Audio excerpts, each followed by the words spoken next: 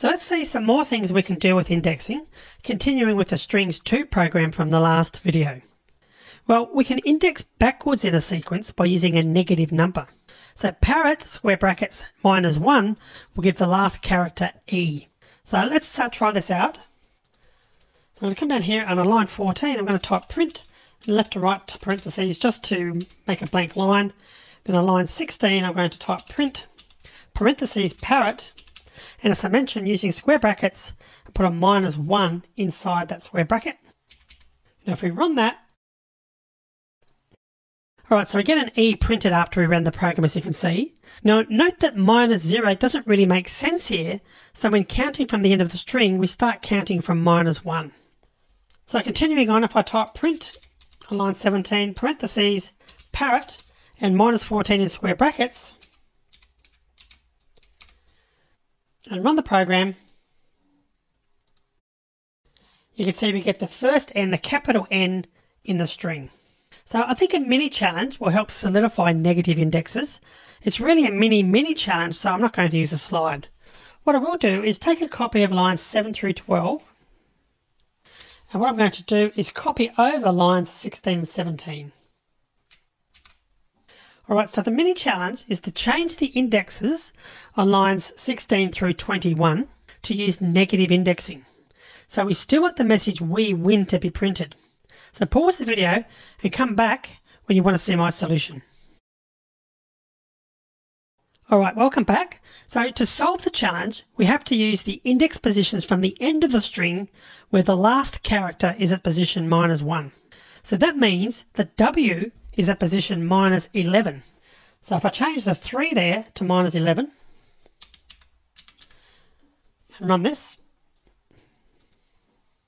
there's the first letter and what we'll do is we'll go through and finish the rest now. The next one is minus 10. Next one, minus 5. Next one, minus 11. Next one, minus 8. And the last one, minus 6. We can run this and verify we still get the output we win one character at a time. Now you may have noticed that the negative index values can be obtained by subtracting the string length 14 from the positive ones. So you may have actually done something like this and what I'll do is I'll take another copy of uh, lines 7 to 12. I'll come down here and I'm going to paste this down here on line 23. So again, what I said was uh, you may notice that the negative index values can be obtained by subtracting the string length 14 in this case from the positive numbers. So you may have done something like this, just basically subtracting 14 from each value. So instead of 3, be 3 minus 14, 4 minus 14, 9 minus 14, 3 minus 14, 6 minus 14, and lastly, 8 minus 14. Run the program. And you can see there that uh, we still get the output we win. And what we could do to be consistent, we could add another print there. Run it again just to make sure we have got a space there. We can see that we've still got we win. We've got basically three lots of we win showing on the screen, which is consistent with the fact that we've done this three times now. So experiment with uh, negative index values to make sure you're comfortable with how to use them. You won't use negative index as often as positive ones, but uh, when you do need to use them, they're incredibly useful. In the next video, we'll continue with strings and look at how to slice a string. See you in the next video.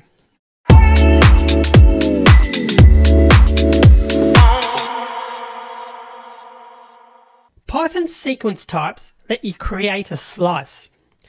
The only sequence type we've looked at so far is the string type, so let's continue with our strings 2 program. What I'll do is delete all the code except for the comment and the uh, parrot definition, so let's go ahead and do that. So we can produce a slice by providing three numbers separated by colons. Now these numbers are the start, stop and step values. So I'll introduce the step value soon, but first let's look at slicing without a step. So I'm going to type print parentheses parrot left square bracket 0 colon 6 and right square bracket then our right parentheses. I'm going to add a comment as well hash N-O-W sorry N-O-R-W-E-G. So here we're telling Python to start at position 0 and slice up to but not including position 6. And I've added a comment with a hash character there to indicate the result that we should get. So if we run the program now, we get the output uh, in the output pane Norweg. So when I said not including, that's important and something that new Python programmers often forget. The last character you specify isn't included in the slice. It turns out that not including that last character makes slices much easier to use, but it'll probably catch you out at first. In fact, not including that final value is something that happens in other places in Python, such as ranges. Now, don't do this if you're at work in an open plan office, but if you're somewhere safe where you're not going to get funny looks, say out loud 10 times up to but not including, up to but not including, up to but not including. Alright, so getting back to our code, the, the uh, slice on line 5 produces the characters from index 0 up to, but not including, index 6. So let's see some more examples to understand how slices work. So let's say we wanted the characters WE from the string, then we'd slice from position 3, the W, up to, but not including, position 5, the G. So let's type in the code for that.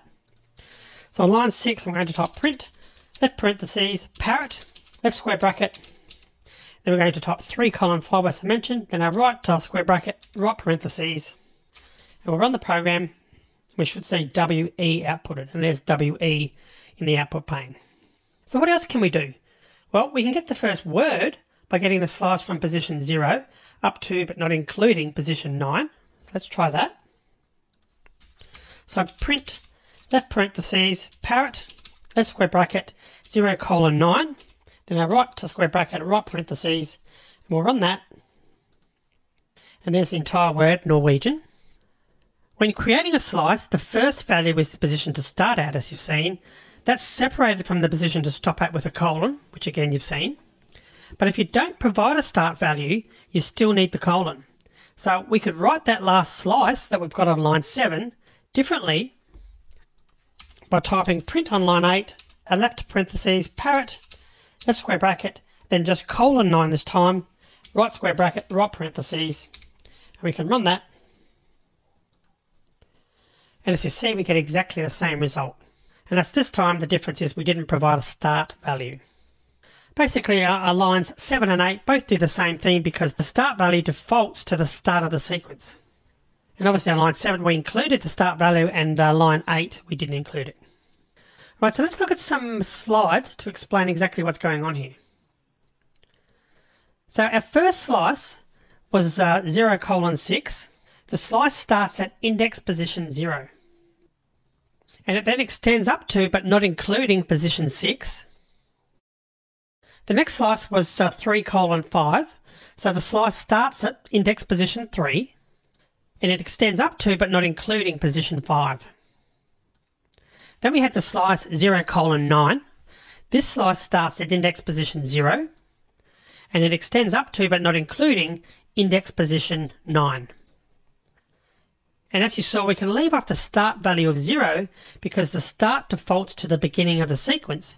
The colon is, however, necessary, otherwise we'd be specifying the single character at position 9. So at this point you should be able to create a slice that returns the word blue. So pause the video and come back when you've had a go at that. Alright, so welcome back. So to slice the word blue from our string, we need to start at position 10 and extend up to position 14. So let's do that. So I'm going to type print, left parentheses, parrot, left square bracket, 10 colon 14, right square bracket, right parentheses. And if we run that, we should see the word blue. And there's blue on the screen. And again, there's no character at position 14, but remember that slices extend up to, but not including, the stop value. We saw that we can leave out the start value and it uh, will default to the start of the sequence. If we leave out the stop value, then it defaults to the end of the sequence. So that means that we can rewrite the last line, line 10, on line 11, as print, left parentheses, parrot, left square bracket, 10 colon, and this time we're leaving off the other value. So we've got a right square bracket and right parentheses. And if I run that, we get the same output, in this case the word blue. It's important to include the colon that separates the start and stop values. We haven't provided a stop value, but we still need the colon so that Python knows that we want to slice. Without the colon, that would be an index and we'd get a single character at position 10. I mentioned that there are four different things that square brackets are used for, and uh, slicing is the second thing. They're used for indexing and they're used for slicing. If you use square brackets for slicing, you must have at least one colon, otherwise it's in fact an index and not a slice. Alright, so I've got a question for you. Before I ask it, we'll have a quick recap. If the first number in a slice is omitted, the slice will start from the beginning of the string, and if the second number is omitted, it'll run to the end of the string. So to recap, print parentheses parrot left square bracket colon 6 right square bracket right parentheses and print left parentheses parrot left square bracket 6 colon then right square bracket and right parentheses so again, the first number in a slice is omitted. The slice starts at the beginning of the string, and if the second number is omitted, it'll run to the end of the string. The slice uh, indices are defined such as string square bracket colon n plus string square bracket n colon is the same as the original string. So to show you what I mean, I'm going to type some code on line 16 this time, print left parentheses parrot left square bracket colon 6 we've got a right square bracket plus this time. I'm going to add a space there, so uh, and a plus, another space, then parrot, left square bracket, 6 colon, then we've got our right square bracket and our right parentheses again. So if we run this, you can see in fact we've got the entire Norwegian blue outputted to the screen. So at this point, my question to you is what happens if we only have a colon in the slice. In other words, what will this produce? Print, left parentheses, parrot, left square bracket, colon, then right square bracket, parentheses. So have a think about that and see if you can figure it out before running the program. Pause the video now and come back when you've got an answer. Alright, so welcome back. Did you work it out? Well, if you don't provide a start value, the slice starts at the beginning of the sequence. So there's no start value on line 18, so we start at the beginning. Now if you don't provide a stop value, the slice extends up to the end of the sequence. And we haven't got a stop value on line 18 either. So that means the slice will start at the beginning and extend right up to the end. So if we run the program now, we get the complete string printed out. So you might be wondering at this point why we'd uh, want to do that? When dealing with strings, you probably wouldn't. And I'll come back to it when we look at another sequence type, a list. When dealing with lists, a slice like this one that produces a copy of the entire original can be very useful. I've covered it now because we're looking at start and stop values in a slice, and we'll see some practical applications of it later in the course. Alright, I'm going to stop the video here. Before watching the next video, experiment with slices with different strings. So a good one that you might want to experiment with would be uh, this one, which I'll add to the source code. So letters equals, and we're going to add the letters of the alphabet.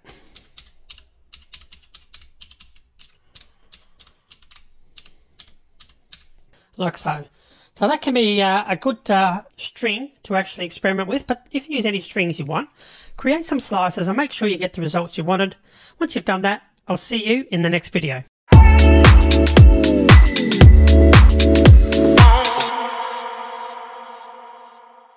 Continuing with our strings 2 program, I'm going to delete everything except the definition of parrot on line 3 and also the first slice. The start, stop and step values in a slice can also be negative. So let's add some code on line 7, print, then left parentheses, parrot, left square bracket, minus 4, colon 2, right square bracket, then right parentheses. Now if we run this, we'll find that this actually doesn't print out anything. So it doesn't print the two characters starting 4 in from the end of the string, and it's printing nothing as I mentioned. And that's because you can't go backwards from the starting position. So instead, we'd have to write that as a minus 4, which we've got, but then minus 2. And it's a comment that should give us BL. And it's another example, print parentheses, parrot again, then left square bracket, minus 4 colon 12, right square bracket, right parentheses, then that will actually give us the same thing. So if we run this, you can see we've got BL in both cases there. So the first one on line 7, that prints from index minus 4, and that's B, capital B, up to, but not including the second to last character in the string, which is U. Now the second example on line 8 prints the same thing, but this time it's interpreted as from index minus 4 up to, but not including, index position 12. So spend some time experimenting with negative indices. There's nothing tricky about them. They're just counting from the end of the string instead of from the beginning. Make sure you can reproduce all the slices from the last video using negative indices. I'll do the one on line 5 just to get you started. And we'll do that just immediately under line 5. So the negative version of that would be print, parentheses, parrot, square bracket, minus 14, colon, minus 8. Then we want our right uh, square bracket, right parentheses, and that should give us the same result. So let's just run that to make sure that it works. And you can see we've got Norweg outputted twice. So again, make sure you go through and uh, reproduce all the slices from the last video using negative indices to uh, really make sure that you understand how they work. But also, with that said, create your own strings and practice on them as well. In the next video, we'll see how to use a step in our slices. See you in the next video.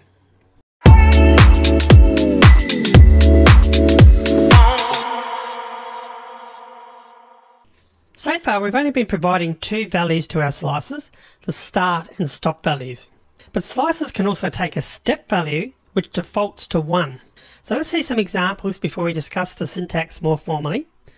So what I'm going to do is delete the code other than the definition of parrot on line 3 and I'm going to type on line 5 print parentheses parrot square bracket 0 colon 6 colon 2 and close up the square bracket and parentheses and we'll put a comment to the effect of the output being capital N R E. And on line 6, I'm going to type print parentheses parrot left square bracket 0 colon 6 colon 3 this time, then uh, right square bracket in parentheses, and a comment the output should be NW. So the slice on line 5 is starting from index 0, which is the capital N, extracting all the characters up to but not including index 6, which is the I, in steps of 2. So the slice starts at index position 0. It extends up to but not including position 6. And we step through the sequence again in steps of 2. Line 6 is similar but slices in steps of 3. So here we can see that the slice starts at index position 0 as before. It extends up to but not including position 6 again as before. But this time we're stepping through the sequence in steps of 3. So let's confirm that that works by running it. And you can see we get the output that we thought we should get. And you can see that we've got that output. Right, so another example of a slice with a step is as follows. So I'm going to start typing some code on line 8. I'll start by typing number equals, in double quotes, 9, comma, 223, comma, 372, comma, 036, comma, 854, comma, 775, comma, and 807. And we've got a closing double quote there. Now on line 9 if I type print parentheses number then square brackets again 1 colon colon 4 then closing off the uh, right bracket and right parentheses. Now if we run that doesn't appear to be very useful but it does illustrate using a step in slices. So it starts at position 1 which is the first comma and it's slicing every fourth character. The list extends all the way to the end of the string, and that's because we've omitted the stop value, and that gives us all the commas. So I said it didn't appear to be useful, however it can be. In order to show you how it's useful, I'm going to have to use uh, some things that we'll be looking at later. I don't like doing this generally, and I won't be doing it often, but I think something like that slice will make more sense if you can see a practical application of it. So what I'm going to do is start by changing some of the separators. At the moment they're all commas, but it's possible we may have to process a string that contains a mix of separators. So what I'm going to do is uh, use a mix of commas, semicolons, colons and spaces. These are all the things you might find used as separators when processing data. So we've got 9, comma 223. Let's change the uh, comma after the 223 to a semicolon. Then moving on, we've got to after 372, we'll replace that comma with a colon. The next one, after the 036, we'll put a space there instead. And we'll leave the next one, 854, we'll leave that as a comma. And the one down the end here, before the 807, we'll add a semicolon there as well. So if we run this program again now, we've changed those separators. You can see the output there. We've actually got a comma, semicolon, colon, space, comma, semicolon. So why is that useful? Well, if that number string represents seven values that appear in a data file, we can use the separator string to split out the seven values. Now this is the bit that I don't want you to worry about. Think of it as a demonstration. It's all stuff that you'll be learning about in later videos. So what I'm going to do is start by binding a variable to the slice instead of printing it out. So I'm going to change line 9 there. Instead of print, we're going to type separators is equal to, and I'll just remove the parentheses on the end there. And then we're going to print separators. So we've now got a string containing all the separators that we used in numbers. Now it's not necessary to print it, but uh, on line 10 I'm doing that anyway just to confirm that we've got the separators. And obviously that should work because we've just uh, only made a small change there by binding uh, it to the separators variable. Now we can use the separators to split out the individual values. This is the uh, interesting part.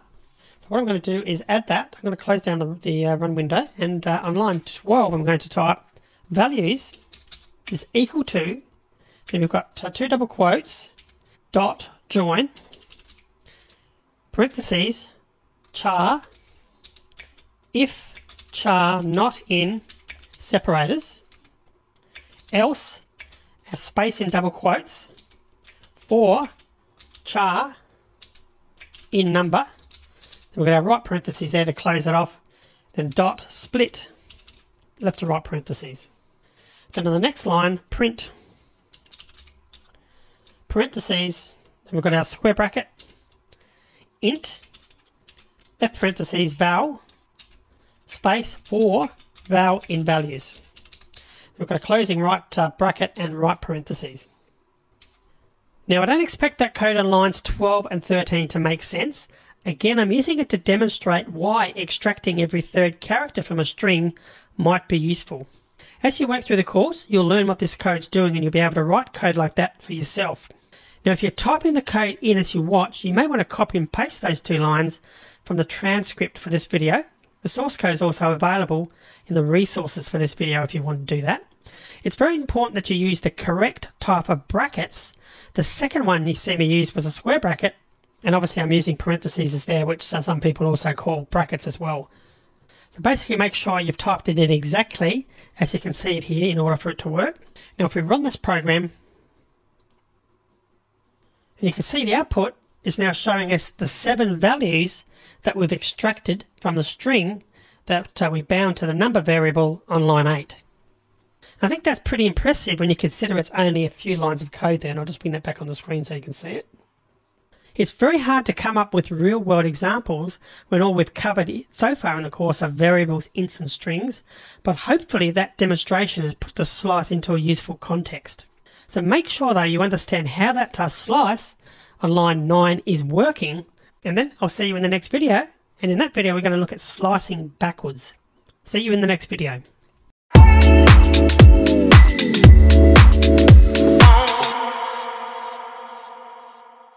We've seen that you can use negative start and stop values in a slice. You can also use a negative step. There's only one thing to watch out for, and it's uh, one of those things that's obvious once it's been pointed out. If I asked you to count backwards from 99 and stop when you reach 100, how would you get on? You'd tell me it's impossible, of course, and you can't possibly get to 100 by counting backwards from 99. Well, neither can Python. Now that you know that, you won't make the most common error that people make when using negative steps in a slice. Alright, so let's see some examples. I want to create a new Python file called sliceback.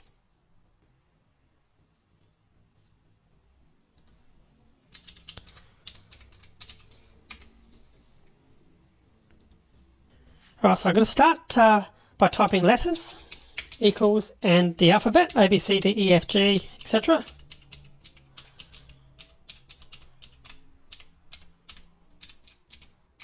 Then uh, on line 3 I'm going to type backwards equals letters square brackets 25 colon 0 colon minus 1 then the closing right uh, square bracket then we're going to print backwards. Alright, so I've created a slice that starts at index 25, which is the uh, Z, and I've set the stop value to 0 and used a step of minus 1. So what do you expect the output to be here? So pause the video and have a careful think and come back when you think you've got the answer. Alright, so let's uh, run the program now to see if you are right. So we get the letters of the alphabet in reverse order from Z down to B. Notice that the letter A isn't included. We used a stop value of 0 and slices extend up to but not including the stop value. Before I ask you another question, let's review what we've got here on line 3. Because we're using a negative step, the start value must be greater than the stop value. Our slice starts at index position 25 and it extends down to index position 0 but doesn't include the character at that position. We're stepping by minus 1 which produces all the letters from Z down to B. So my second question is what stop value will let the slice include the letter A? There's two obvious answers to that, but only one of them works. So have a think and run your code to try your answer before starting the video again. So pause the video now. Alright, so how did you get on? So one obvious answer, if a slice doesn't include the position at the stop value, is to use a stop value of minus 1. But unfortunately, that's the one that doesn't work. So if we try that, and use a stop value of minus 1, when we run it, we don't get any output. So you may have worked out why. Remember that negative stop values count backwards from the end of the sequence. Minus 1 means the last character in the string, which means we've uh, requested a slice that extends from the Z up to but not including the Z, and therefore we get nothing. The other obvious answer is to omit the stop value. Python will default to the start or end of the sequence if we don't specify start or stop values. So it's clever enough to work out that it should reverse the defaults when we're using a negative step.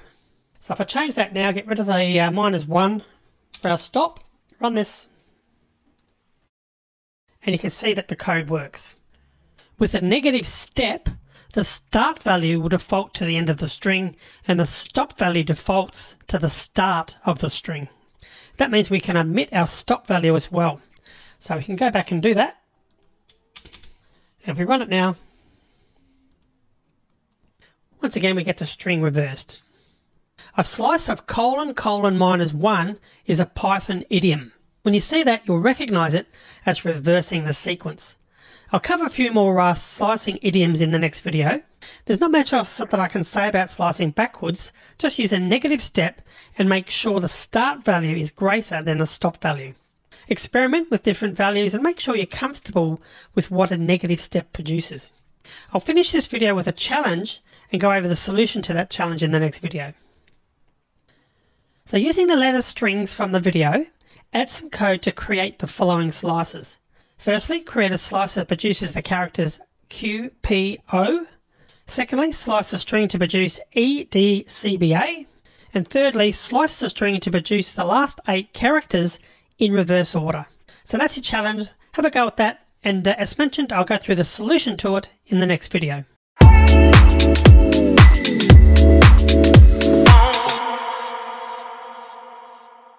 Alright, so how did you get on with the challenge from the last video?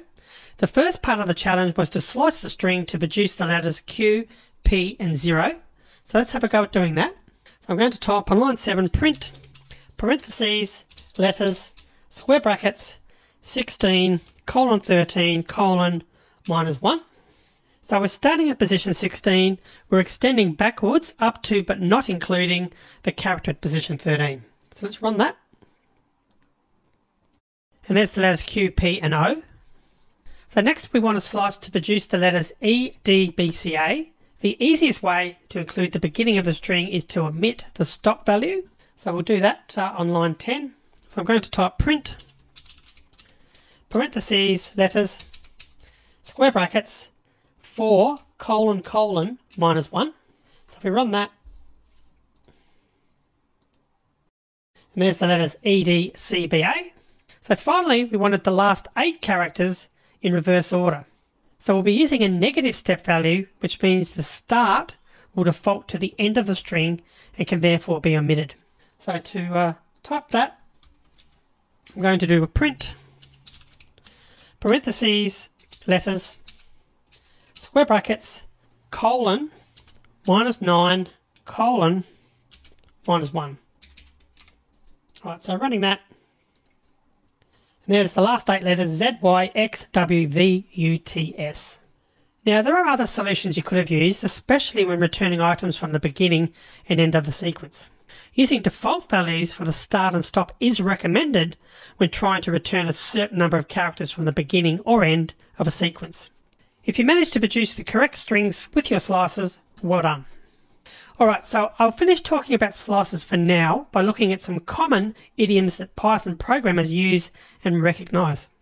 In the last video I mentioned that a slice of colon colon minus 1 is a Python idiom. When you see that, you'll recognize it as reversing the sequence. So let's see some more idioms. So the first is to return the last n items in a sequence. So let's say we wanted the last four characters from letters. So I'm going to come down on line 15. I'm going to type print, parentheses, letters, square brackets, minus 4 colon. So if I run that, we should get the last four letters. W, X, Y, Z. Whenever you see a slice with a negative start value and defaults for the stop and step, that just returns the end of the sequence. A common use of that is to get the last item by specifying minus 1 for the start value. So let's have a go at doing that. So I'm going to type print, parentheses, then letters, square brackets, minus 1 colon, run that. We get the last item, in this case, the Z. Now you can also use a slice to get the first character. Very similar. We just type print, parentheses, letters, square brackets, 1 colon. Run that. And I actually did that the wrong way because that obviously gave us everything but the first, starting at sequence position 1. It should have been colon 1, which is what I meant to type. Running that, we now get the letter A, which is the first item in the sequence, the first character. Now that last one is useful because it doesn't give an error if the sequence is empty. It may though be more natural to get the item at index position 0 and that works with this string. So we could also do it as print parentheses letters square brackets 0. And that's the same, gives us the same result. That works, but what would happen if our string was empty? So I'm going to go up and delete the uh, letters, or the characters rather, on line 1. So I'll make that uh, an empty string. Run the program, and we now get an error, and the error is that string index out of range. You can't access the first item of a sequence that doesn't contain any items. So looking at the code, the slice on line 17 produces an empty string instead of crashing with an index error. And just to confirm if I run it again, the error is actually talking uh, or is showing on line 18 as you can see there. So I had no problems with executing line 17. So the idiom on line 17 is useful for getting the first item in a sequence without your code crashing.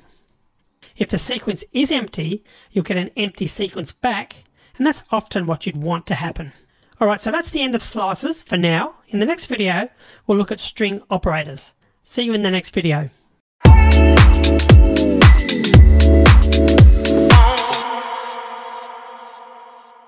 In this video, we'll look at three operators that apply to strings. In fact, they apply to any sequence type. So Python 3 has five sequence types built in. We've got the string type, list, tuple, range, bytes and byte array, which I'm treating sort of as one sequence type. So with that said, what is a sequence? Well, a sequence is defined as an ordered set of items. For example, the string hello world contains 11 items and each item is a character. But a list is also a sequence type. For example, here's a Python list of things you might need when buying a computer. You can see that uh, each item is in double quotes separated by a comma and uh, it's all then in left and right square brackets. So that list contains five items, each of which is a string. Now we'll be looking at lists in a later section of this course. So that last example was a list of strings. In other words, it's a sequence where each item is also a sequence. Make sure you fully understand the videos on indexing because indexing is very important when dealing with sequences. Because a sequence is ordered, we can use indexes to access individual items in the sequence. For example, if we have for this example here with computer parts defining a list, then computer parts left and right uh, square brackets 1 will be the string monitor, which is the second entry in the list. But that's also a sequence, and we can index into that sequence as well by using uh, square brackets 1 to uh, get access to monitor, and then square brackets 0 would be the letter M in lowercase, which is the first part of that sequence. So we've been looking at the strings in this section, but everything that you can do with the str sequence type can also be done with the other sequence types. Well, everything with one exception. Not all sequence types can be concatenated or multiplied. Range is an example of a sequence that can't be concatenated. Right, so back to the code. I'm going to create a new Python file called sequence operators.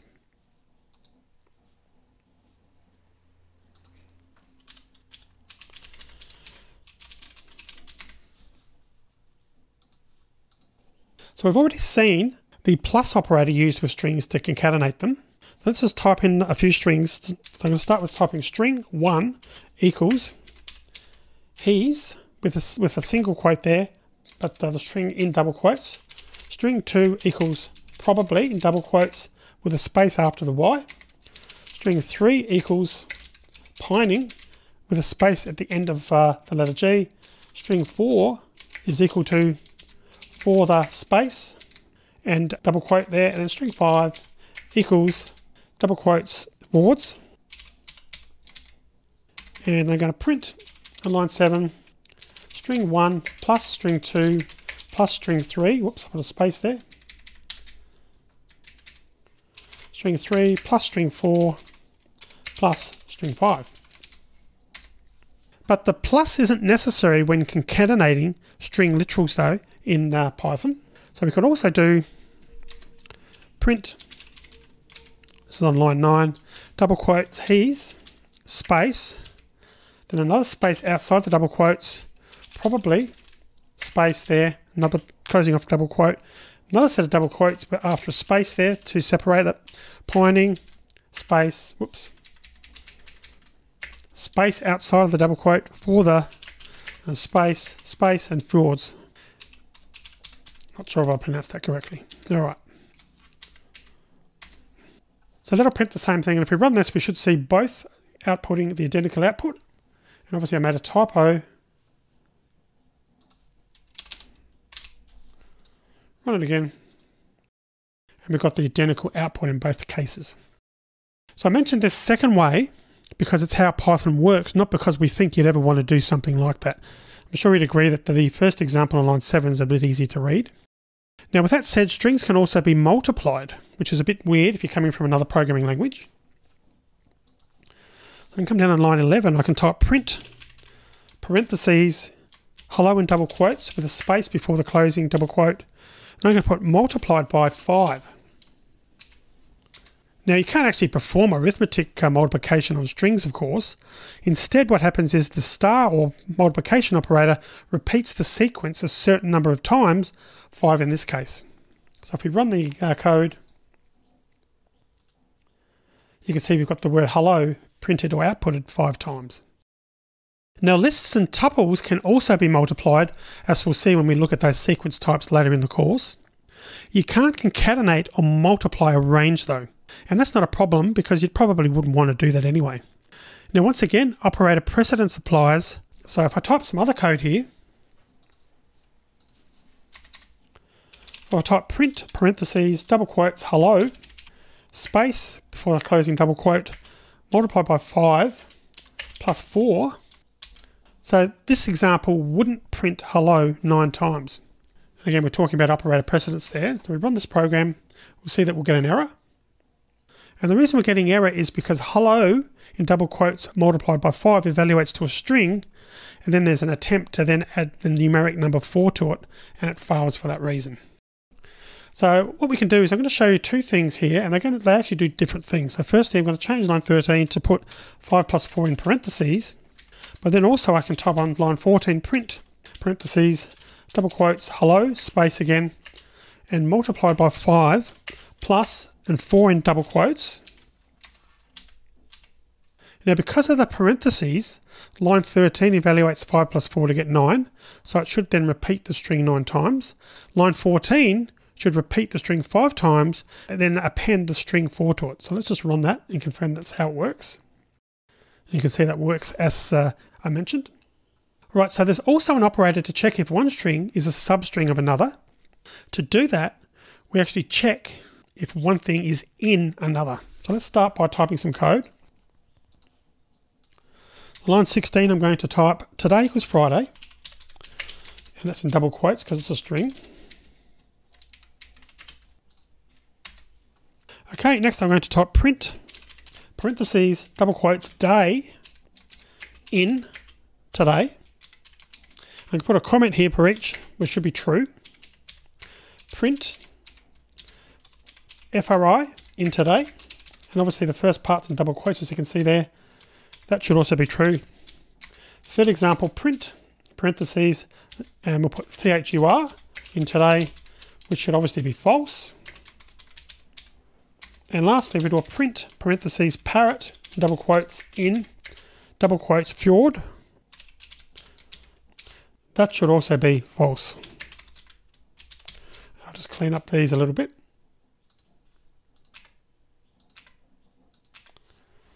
So here the in operator evaluates to true if the first thing exists in the second and false otherwise. We'll be using that a lot when we look at conditions and for loops, and you'll get plenty of practice using it and see loads of real examples.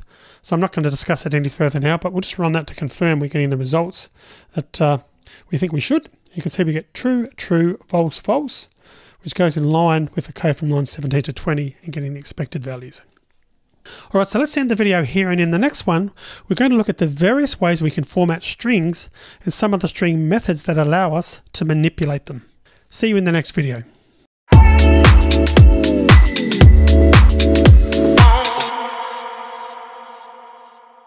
When printing strings and numbers, it would often be convenient to display both values using a single call to print.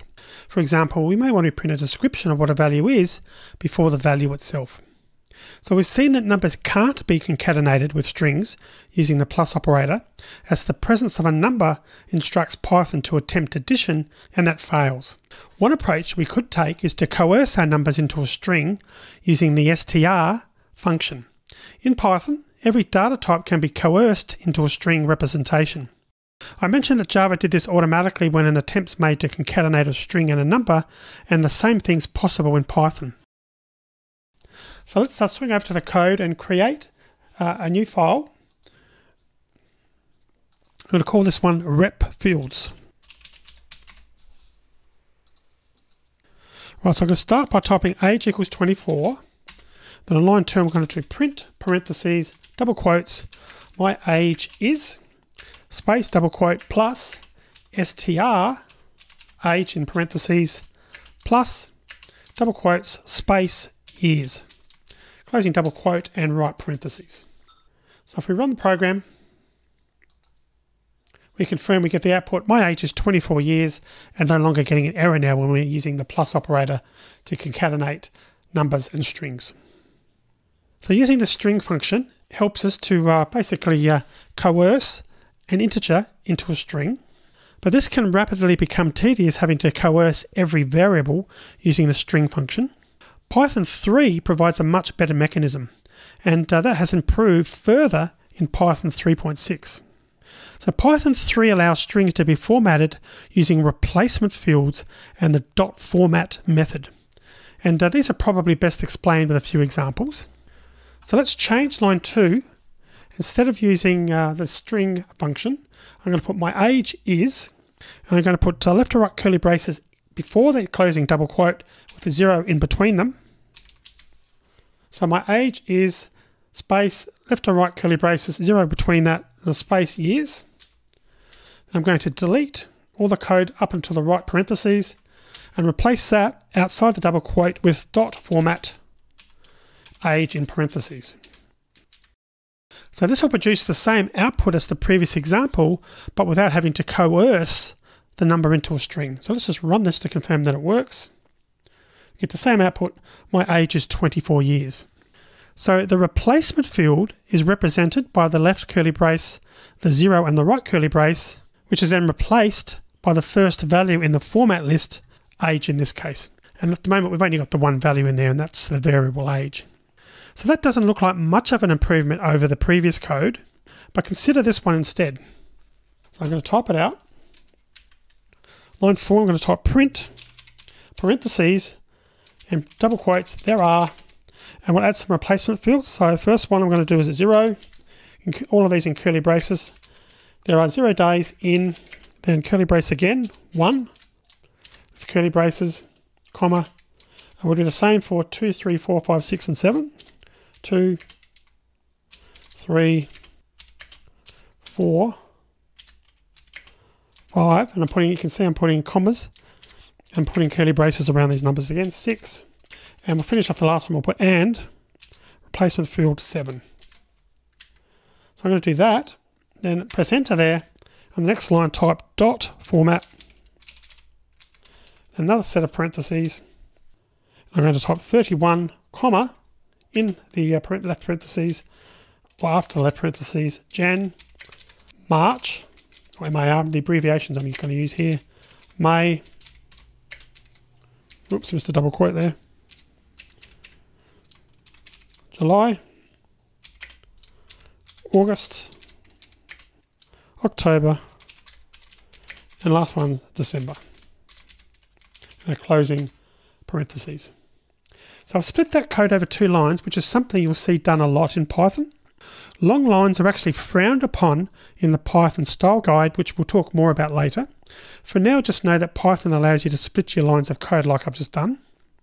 Alright, so the replacement fields are replaced by the values that appear in the dot format method call, with the first value replacing 0, the second replacing 1 and so on. So you can see there we've actually got a total of seven replacement fields defined on line 4 and each of those values are going to go into the respective number 0 through 7.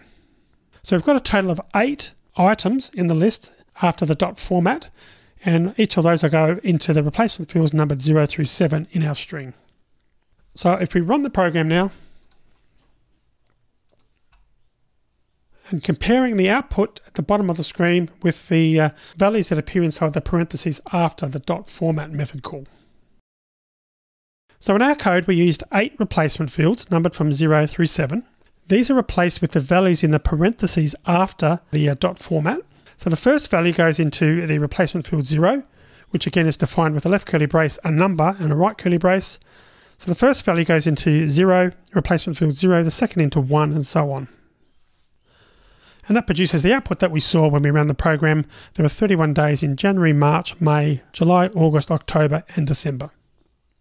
Of course, you probably wouldn't use string literals inside format because, of course, they can just be included in the string. So we could have, uh, in this case, replaced what we did there with something that's probably a lot more readable. Print.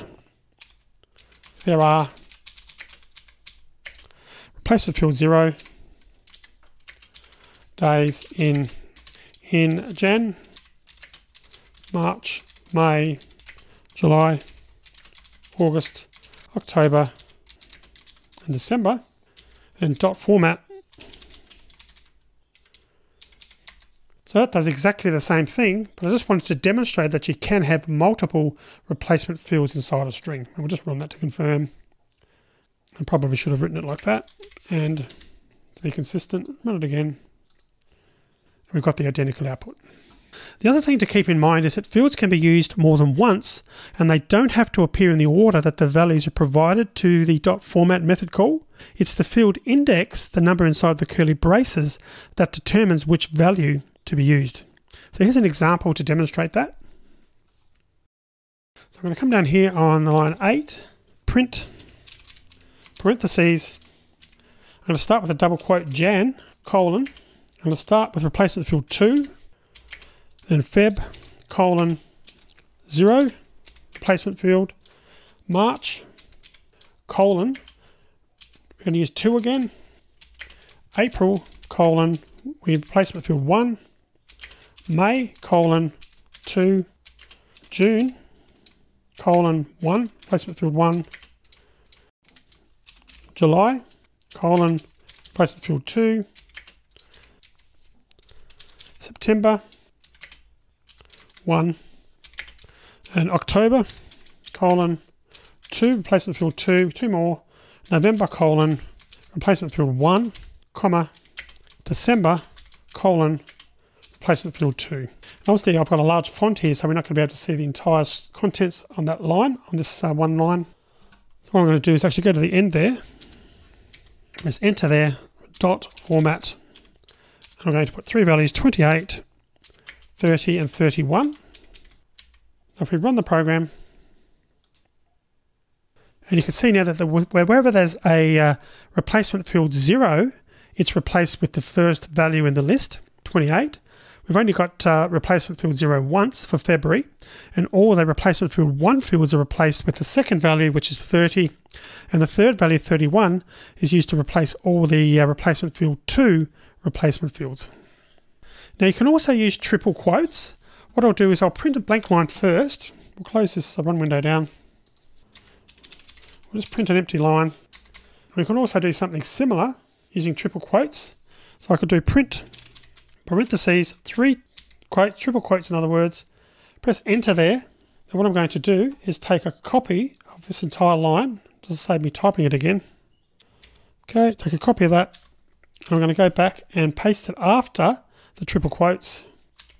Then, then what I'm going to do is just press enter after each one to make it a bit more readable. And because I'm pressing enter on a separate line now, I'm also going to remove the double quotes. I remove the comma rather. So I've got February, March.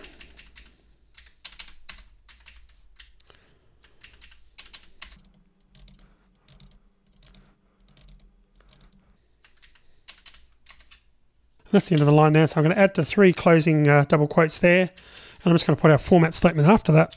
Dot format, parentheses, 28, comma 30, comma 31. Like so.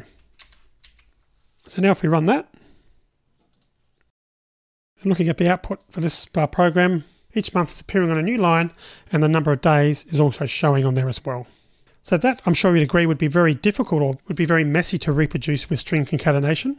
So the actual replacement is pretty easy to work out. So replacement field 0 is replaced with 28. And you can see the example there showing us on line 14. So it's automatically coerced to be a string for us. Replacement field 1 is replaced by 30. We've defined that as the second uh, entry in our format list there. And replacement field 2 is replaced by 31. You can see obviously the same use of the replacement fields in the code and we can see the output showing down the bottom of the screen. Now if we'd used replacement field 3 in the string, then we'd have to produce or provide rather another value in the dot format method call. Right, so make sure you understand how the replacement fields are being used before moving on to the next video.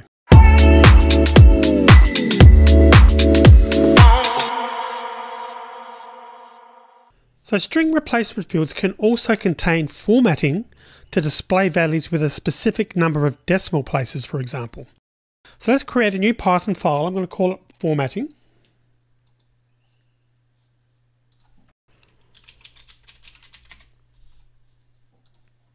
And uh, I'm going to use a for loop to generate some output. We'll be looking at for loops in the next section, so don't worry about what's happening. Concentrate on the print lines that I'm going to type in this code to see the effect of the formatting in the replacement fields. So we're going to start by printing the values from 1 to 12 with the values of their squares and cubes. So on line 1 I'm going to type for i in range, parentheses 1 comma 13, and put a colon to the right of the uh, right parentheses. So on line 2 I'm going to press enter here. You need to make sure there's four spaces before print, which I'm about to type on line 2. I'm going to type print, parentheses, in double quotes I'm going to type number or the abbreviation NO, period, then I'm going to put uh, replacement field 0, which is our left and right curly braces with a 0 in the middle, squared, is, and replacement field 1, and cubed is replacement field 2. Then I'm going to type dot format, parentheses, i, i. I'm going to use the exponent operator, which is two multiplication signs, 2, then i, exponent operator again, 3, which is the, to the power, it's basically raising one number to the power of another in Python. All right, so if we run this now,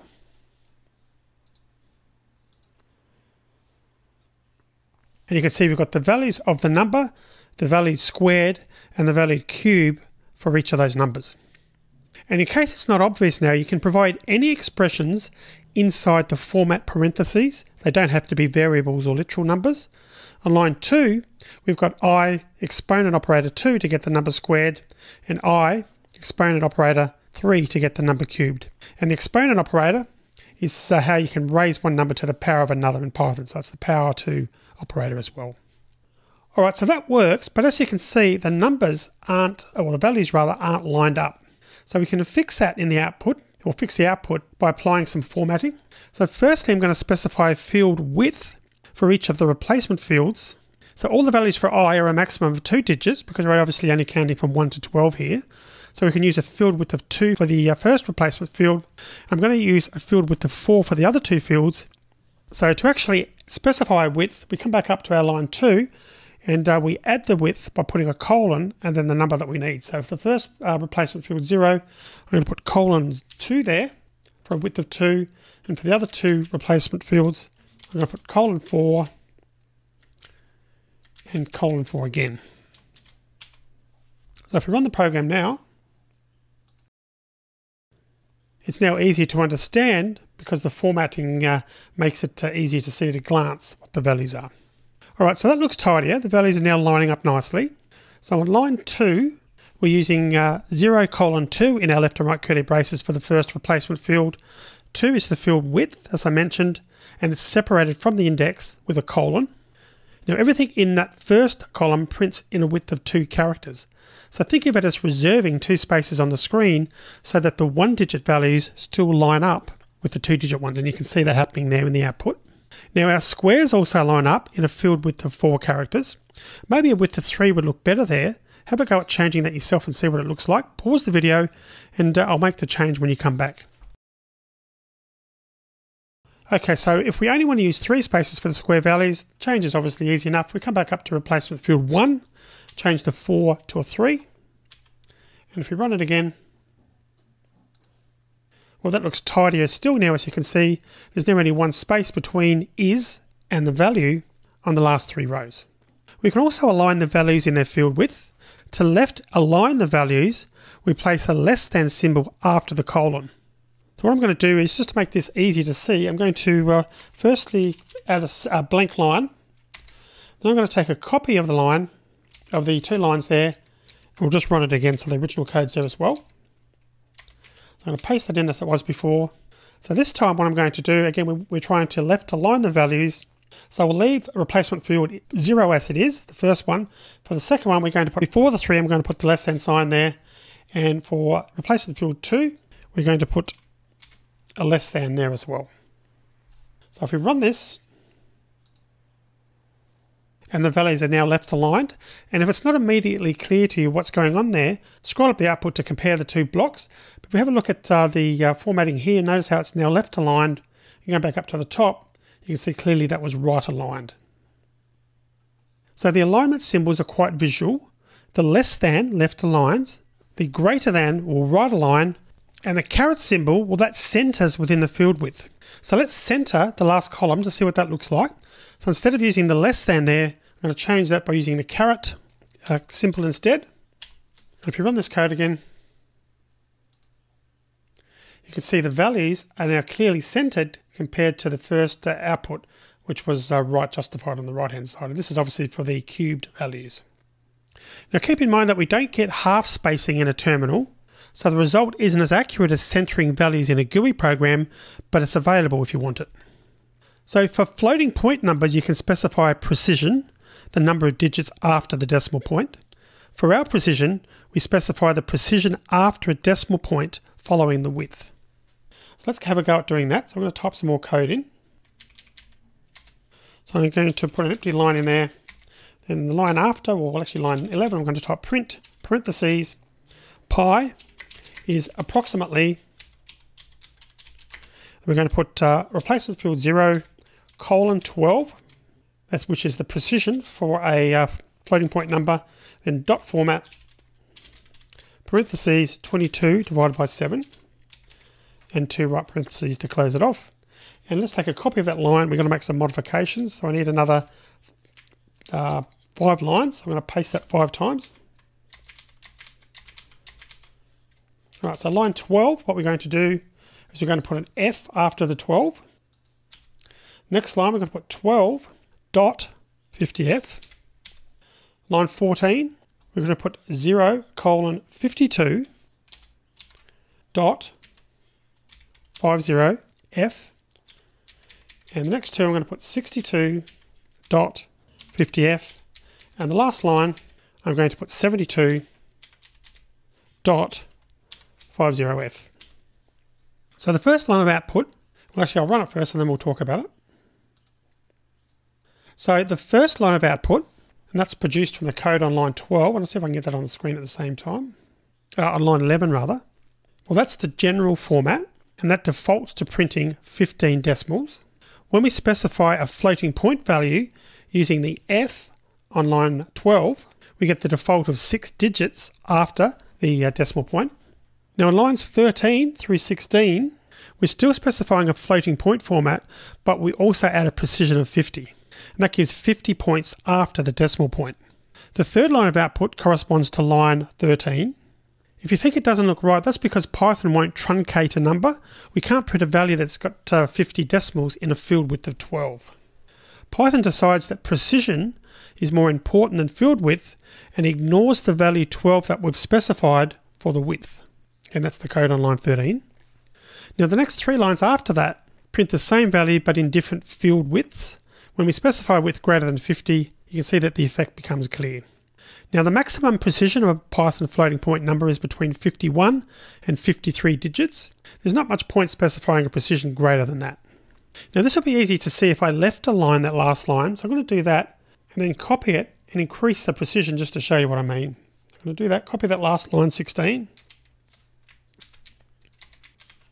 I'm going to change the uh, 72.54f to 72.54f, but we're also going to use the left align so we can see the value left align and we put that to the left of the 72 after the colon. We run the program now. And what I should do is actually left align the previous line as well, just so you can see the differences. So we'll do that again as well. Line 16, we'll run that again. And you can see we only get one extra digit in the output.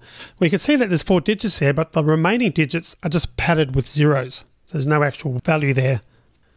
All right, so I'll finish this video now by mentioning that the field number in replacement fields is optional. If they're not specified, then Python takes the value from the uh, format method in order. So to see what I mean, I'm going to take a copy of the code again. This code up here in line 6, I'll take a copy of that again. I'm going to paste it down here on line 19. Now I'm going to actually remove everything. So we're just going to put just a left and right curly brace only for the three replacement fields. And actually what I'll do on the third replacement field, I'll just put a colon 4 there so we can see that uh, we're still specifying a width. If we run this, we can see that the third field shows that you can still use a colon to control the layout even if you haven't specified a field number. All the values in the final column of output are printing in a field width of 4. Now if you don't provide field numbers, you can't use a value more than once, nor can you change the order in which values are used. Now our earlier example with the number of days in the month wouldn't have actually worked without field numbers. Alright, so experiment with different values for the field widths and precisions to see how it affects your output. And uh, I'll see you in the next video.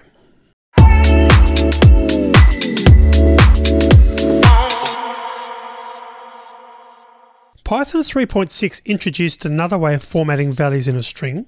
These are called f-strings or formatted string literals. Now at the moment I won't be using f-strings in the course. That's because there's no plans to backport them to earlier versions of Python 3. Python 3.4 is still very common and f-strings won't work with that version or earlier versions. But with that said, it is worth being familiar with them. So let's have a quick look. I'm going to use uh, the strings.py file from an earlier video. So I'm going to select that. We're going to work with this file. Now at um, the moment, we've got an error on the last line. I use that to demonstrate that you can't concatenate a string as an int. So let's firstly just check this by running it again, confirming we've still got the error. And you can see we've still got this type error, can only concatenate strings, not an int to string. So let's fix that using an F string. So all we really need to do to fix that is to put the letter F before is up here. So put an F before the double quote, and that's literally all we need to do. So an F string is defined by putting the letter F before the opening quotes. Now that we've done that, we can use a variable name inside curly braces in a similar way that uh, we've used replacement fields. So what we can do is uh, delete this extra double quote here come up and put age there. We can put age in left and right curly braces, like so. And we can remove the other double quote there. So we've got it all in the one string now. So as you can see, it looks very similar to a replacement field.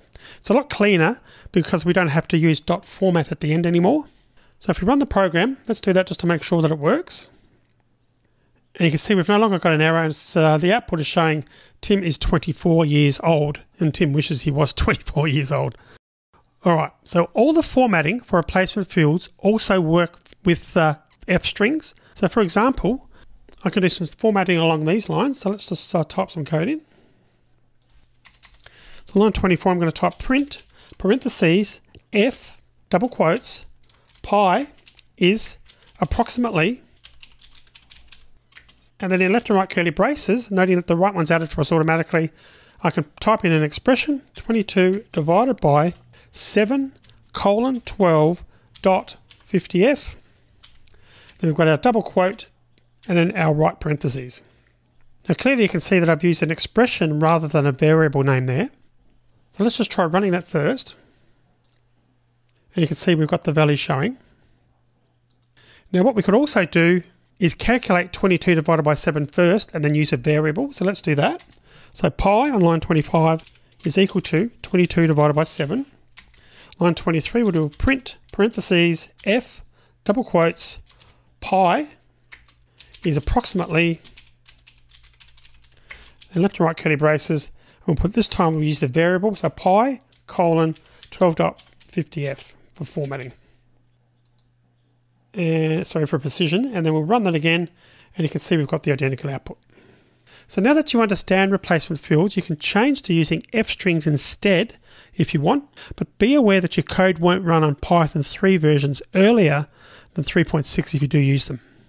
In the next video, we'll finish this section with a quick look at yet another way to format strings. See you in the next video.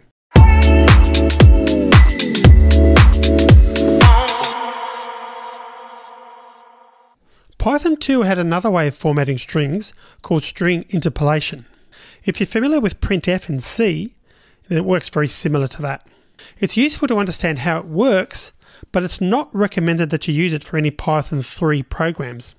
That's because it's been deprecated and will be removed from the language at some point. With that said, I'm covering it here for two reasons.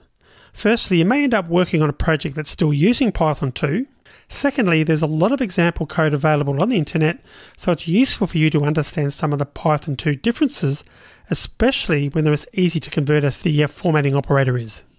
So if you want to skip this video and come back to it uh, if and only if you have to work with Python 2 code. That so what I'm going to do is create a new file. We're going to call that interpolation. Now the Python 2 formatting operator is the percent, and it's followed in the string by letter to indicate how the formatting should work. So I'm going to start by typing age equals 24, line 1. Line 2, I'm going to type print, parentheses, double quote, or quotes rather, my age is, and the percent sign as I mentioned, D years. Then closing double quote, space, then percent sign, age. And closing right parentheses. So here the percent %d will be replaced by an integer value that's provided after the string following another percent character. So if we run that just to confirm that it works, there's the output, my age is 24 years.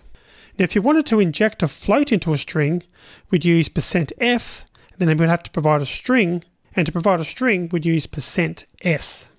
Let's have a look at both of those. Some code. I'm going to start on line 4 by typing major equals years. Line 5, minor equals months.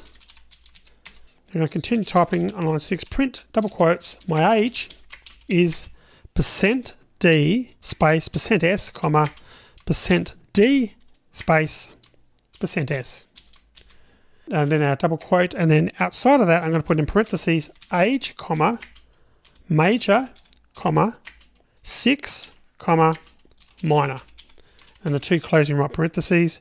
And we'll continue on with an example using pi again on line 7, print, parentheses, double quotes, pi is approximately percent %f, double quote, and then percent sign again, parentheses, 22 divided by 7, and two right parentheses. And I forgot to put the uh, percent sign, of course, we need to do that on line 6. Okay. So starting on line 6, the first percent %d is replaced by the first variable age.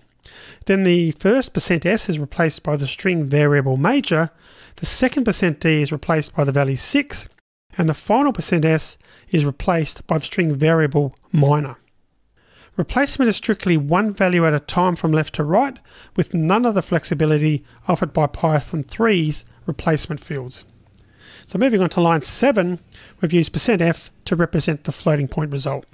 So if we run this now, and you see we get the relevant results. All right, so now that we've run that, you can also specify the precision of the number. What I'm going to do is duplicate line 7, then we'll add some we'll add the precision as well. And the way we do that, instead of just putting percent %f there, we change the percent, we type 60.50 to specify the precision, and then we run that, And you can see we get the uh, basically a similar result to when we were using a replacement field. So as well as percent %d, percent %s and percent %f, we can also use percent %x to display numbers in hexadecimal, percent %o for octal, and percent %e for scientific notification, along the lines of 1.23456e plus 09 for example. Now there are more modifiers and conversion types and these are presented in tables in the Python docs. So I'll just quickly uh, load that up and show you that link. So check this out uh, for more information on this page. Once again, though, I've mentioned uh, these so that you'll understand them when reading code from the internet and uh, if you end up using Python 2. You shouldn't be using these in Python 3 code. All right, so let's move on to the next video, which is a quick summary of what we've been through in this section. See you in the next video.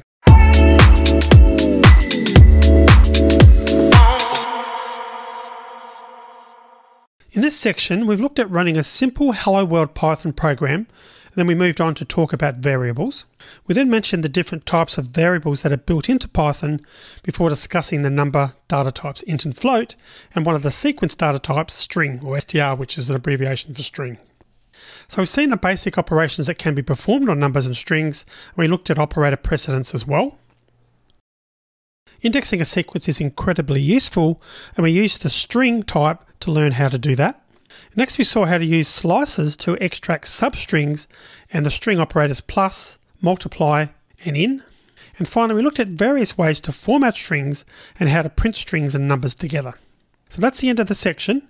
In the next one, we're going to have a look at statements that allow us to control the flow of a program and to repeat parts of a program a number of times. See you in the next section.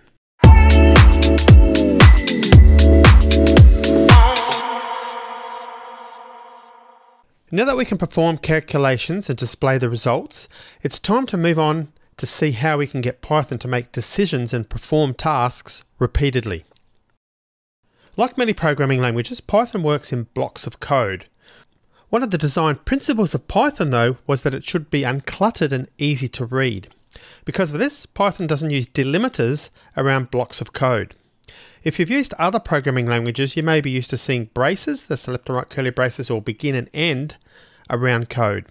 Python doesn't use anything like that, but instead uses indentation to indicate when a new block starts. I've opened the exchange underscore chart program in IntelliJ so that I've got some code to talk about.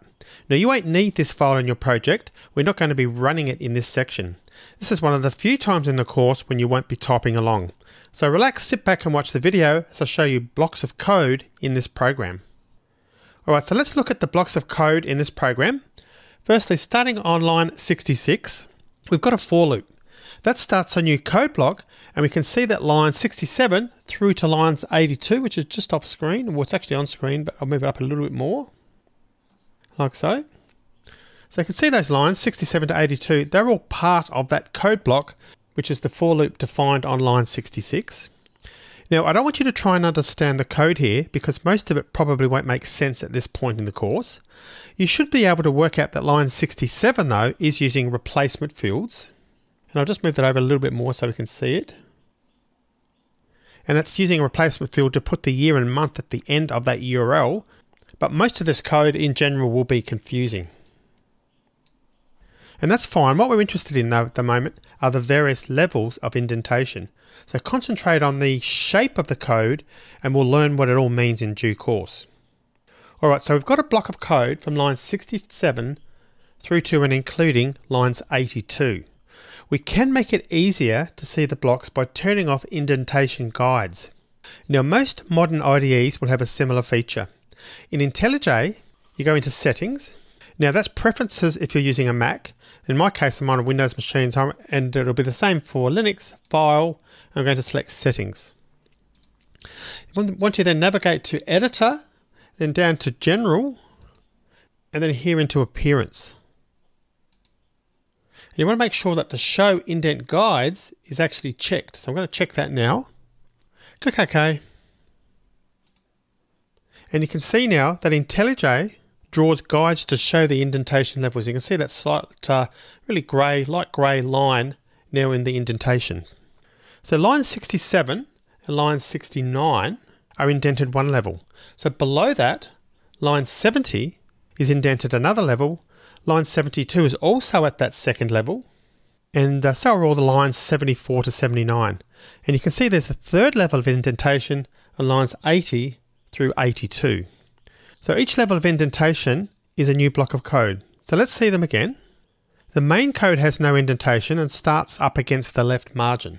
Lines 67 to 82 are all part of another block of code and are indented one level. The convention is to indent four spaces at a time. Within that second block, we have other blocks for lines 70 and 72, and also lines 74 to 82. And finally, there's a fourth block, lines 80 to 82. So that's how we create blocks of code in Python. Now, I haven't explained why you want to do that. At the moment, we're looking at what a code block is. So as you can see, a block of code can contain other blocks. We start a new code block by indenting the code. Now, have you noticed anything else about the lines that start a new code block? Well, lines 66, 69, 71, 73, and 79 all start a new code block. If you examine those lines carefully, Hopefully you can spot something that they all have in common. Did you spot it? Well, all those lines end in a colon. Whenever a line ends with a colon, Python will expect a new code block to follow it. That means that the next line must be indented. When you've finished all the code for a block, you remove the indentation for the next line. The blocks of code on lines 67 to 82 finish with line 82 because the indentation for the next line is removed and uh, you can see that line 84 right towards the bottom of the screen isn't indented.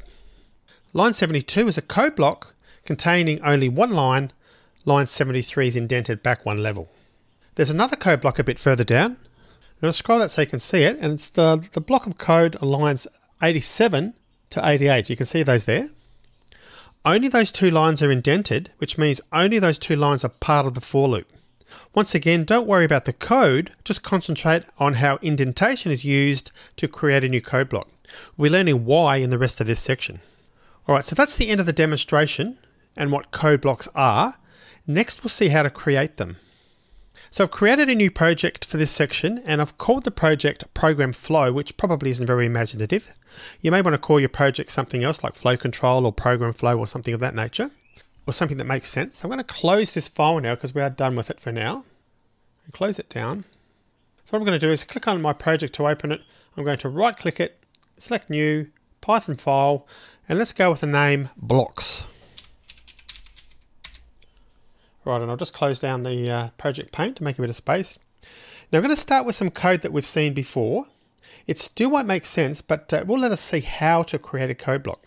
So I'm going to type on the first line for i in range parentheses 1 comma 13 right parentheses and a colon. Now when I type that colon, IntelliJ IDE is showing an error. If I hover the mouse over it, you can see a description that says indent expected. So if I then press enter here, you see that the error has now moved to the next line. And that can be very confusing. You've hardly typed anything and you've already got an error. Don't worry, you will sometimes get things like this until you finish typing the code. IntelliJ is trying to make sense of code that isn't finished yet and it gets a bit confused. And most IDEs will do the same thing if they provide syntax checking while you type like IntelliJ is doing. Helpfully though, IntelliJ has automatically indented that new line when I pressed enter. So when I start typing print, you can see there that it was already indented for us. I'm going to finish this line, print, left parentheses, double quotes, no, we'll put number or NO for short, period, then left to right curly braces, squared is, and left to right curly braces again, and cubed is, and we're going to left and right curly braces again, but within those we're going to put colon 4. We have talked about this in the previous section. Finishing off the uh, double quote, and put dot format, parentheses, i, comma, i, star star 2, comma, i, star star 3. And two right parentheses to finish the line. Note that that's now cleared the error, and notice also that the cursor is automatically positioned when I press enter now at the same level of indentation. Now if we wanted more code inside the loop, we just keep typing. There's only one line I want in this block, so we're going to use the backspace key now to delete the uh, indentation. And you can see just one backspace went right back to the start. Now if you want to indent again, press the tab key. Notice that the IDE adds four spaces and removes four spaces when I use backspace again. So it knows, in other words, that we're in a code block and automatically adds the correct number of spaces for us. Now you can also select a line of code and use Shift Tab to remove a level of indentation. To see what I mean, I'm going up to line 2. I'm going to hold down Shift and press Tab. I can indent it again with Tab. Shift Tab to uh, remove the indentation and Tab again to add it. Alright, so moving on to the next line now. Line 3, I'm going to type print parentheses, double quotes, and put an asterisk in the double quotes, then multiplied by 80, right parentheses. Now if I run this program,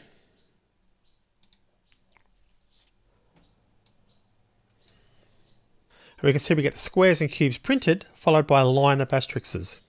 So the block of code inside that for loop executes 12 times, but we only get a single line of asterisks at the end, and that's because line 3 isn't part of the block. However, we can make it part of the block by tabbing it across. So we'll come over here on line 3 and tab it over. So it's now indented at the same line or same level as line 2. If we run the program again, notice that we get a very different result this time. The output's very different, as you can see there. Both lines are now part of the same block, and therefore both lines get executed 12 times. Alright, so that's how we create a code block using the tab key to indent the code. We're also starting to see why we might want to do that. We get very different results when we include line 3 in the block compared to having it outside of the block.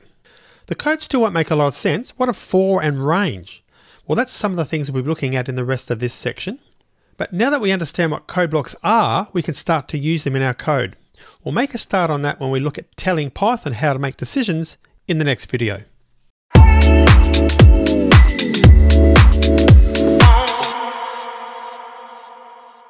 We've seen how we can store values in variables and print them out. We've also looked at getting input from the keyboard in the previous section in this course. We'll now start getting Python to make decisions based on the values of variables and input. just to quickly recap, I'm going to just type in a quick program. I'm going to delete the last three lines from the uh, last video. I'm going to type name equals input, parentheses, and double quotes. Please enter your name colon and a space there. And on line 2, age equals input, parentheses, double quotes again, how old are you, comma, space, then we want a left and right curly braces, replacement fields, zero in the middle, question mark to the right of the right curly brace, and a space. Now closing double quote, dot, format, name, and two right parentheses. The line 3 we're going to print out the value of age. So print parentheses age. Right, just as a quick recap to what we've done previously, I'm going to run that code now.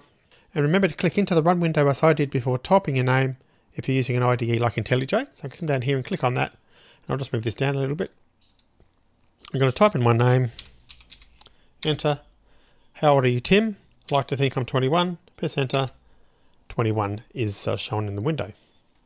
So note that we can use replacement fields in any string, including the one we're using, as a prompt to the input function. The input function returns a str or string data type. We have to convert it to an int if we want age to represent a number rather than the string. And we do that with the int function.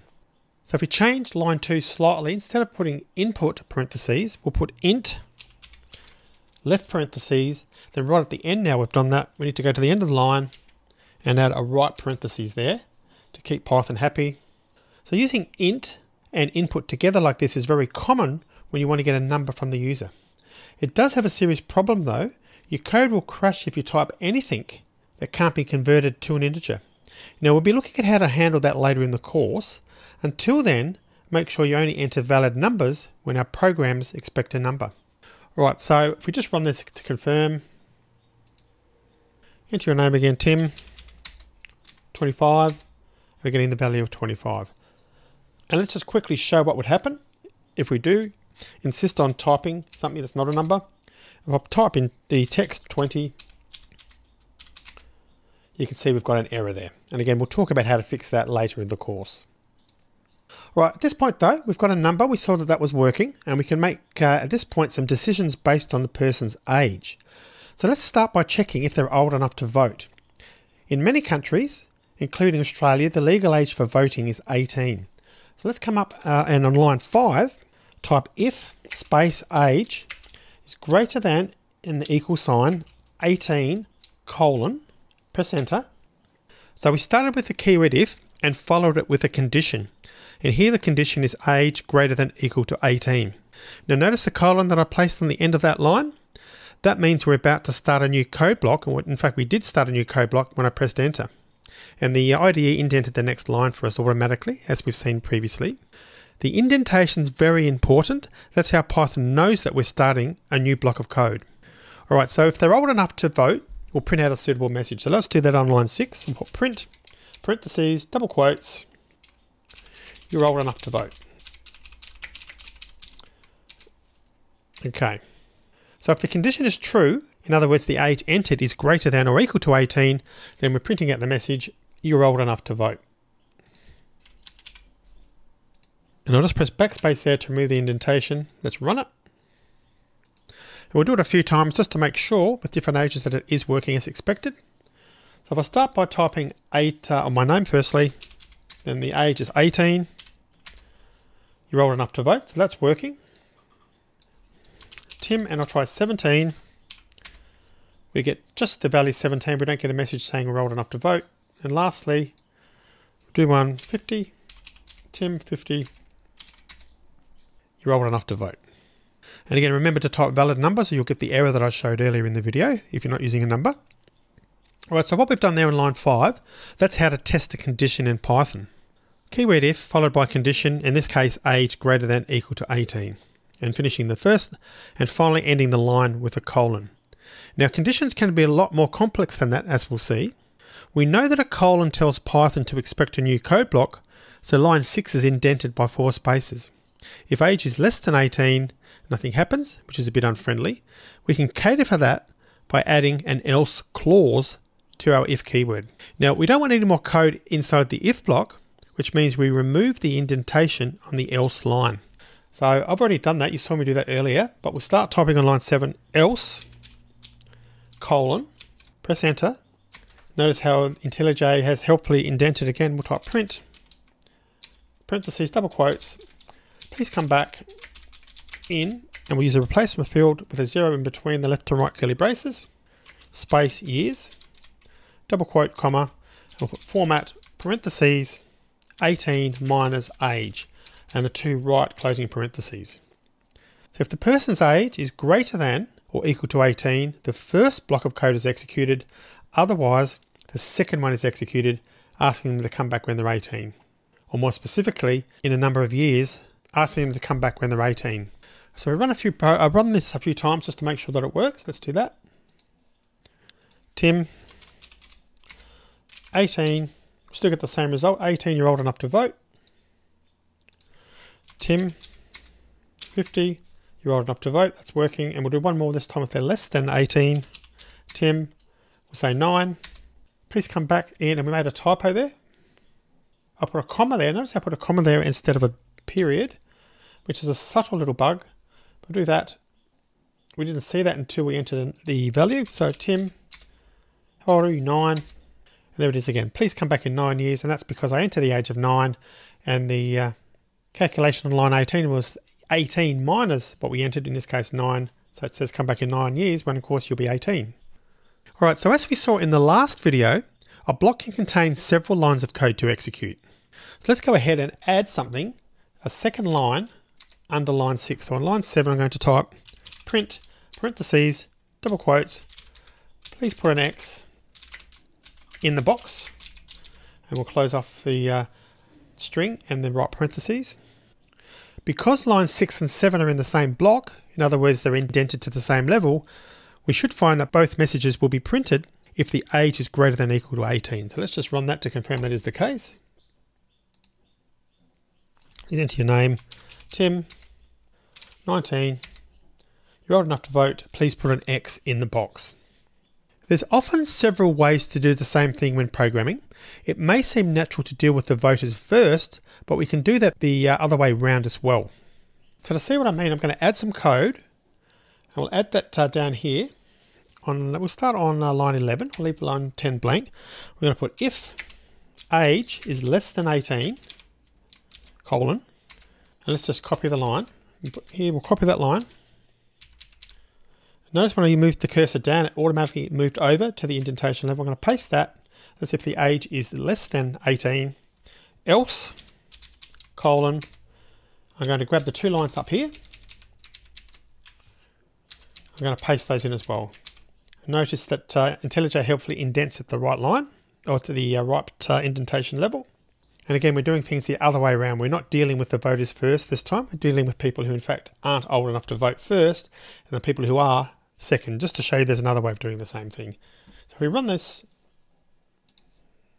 I'm going to enter the same thing twice now. So Tim, 15, please come back in three years as you can see.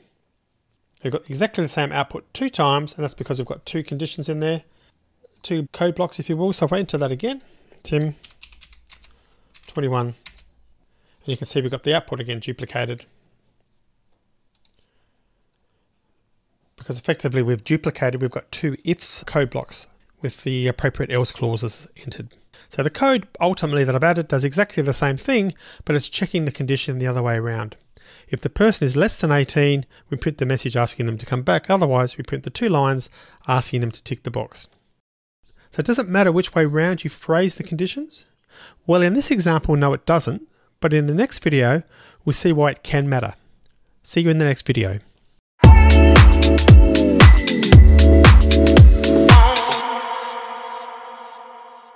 Sometimes we need to check more than just two cases. So looking at the code from the last video, we're testing to see if age is greater than equal to 18 on line 5, and we test the opposite condition, age less than 18, on line 11. In both cases, the condition can be either true or false. If it's true, the code blocks on line 6 and 7 and line 12 are executed. If the condition evaluates to false, the code in the else block executes. Python lets us test several conditions by using elif. So I'll explain a couple of rules about elif in a moment. Firstly, though, let's see an example of using it. What I'm going to do is add another condition to the second if statement. So I'm going to come down here to line 12. After line 12, I'm going to do a backspace there. I'm going to type elif space age is equal to, that's two equal signs, 900 colon. And on the uh, indented line, I'm going to type print in parentheses, double quotes, sorry Yoda, you die in Return of the Jedi.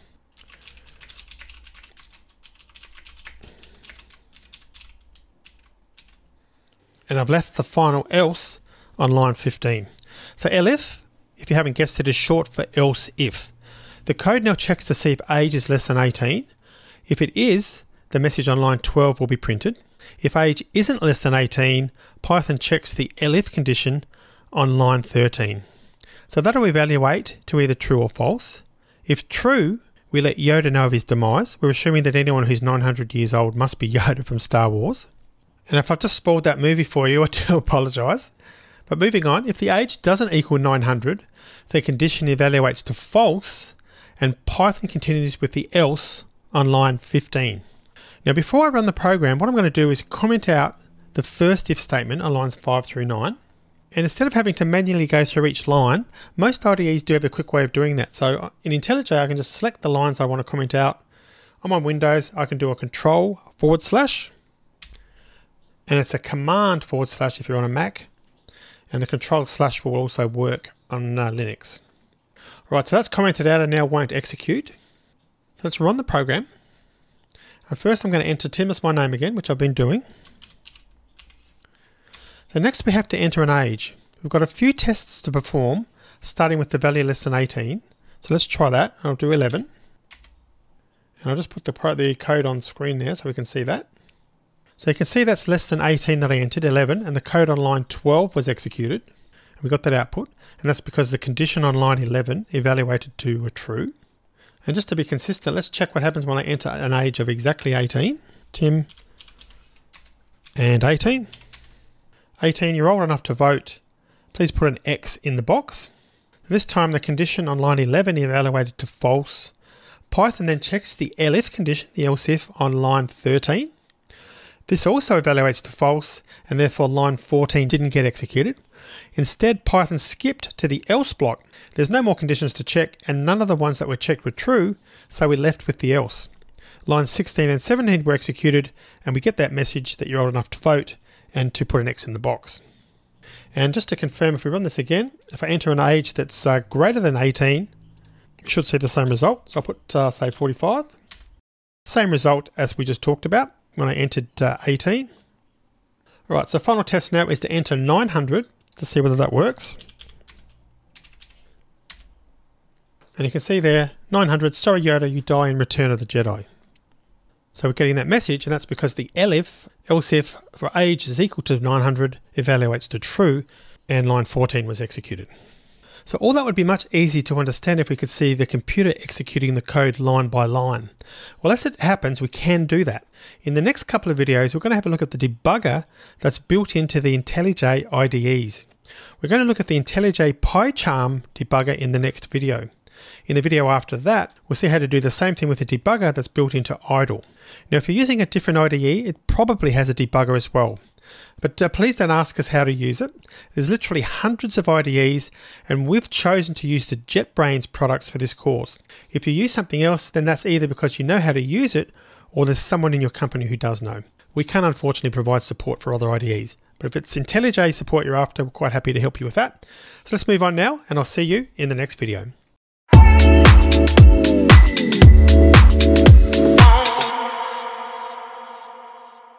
In this video, we'll see how the debugger built into IntelliJ and PyCharm can help us to understand what our code's doing.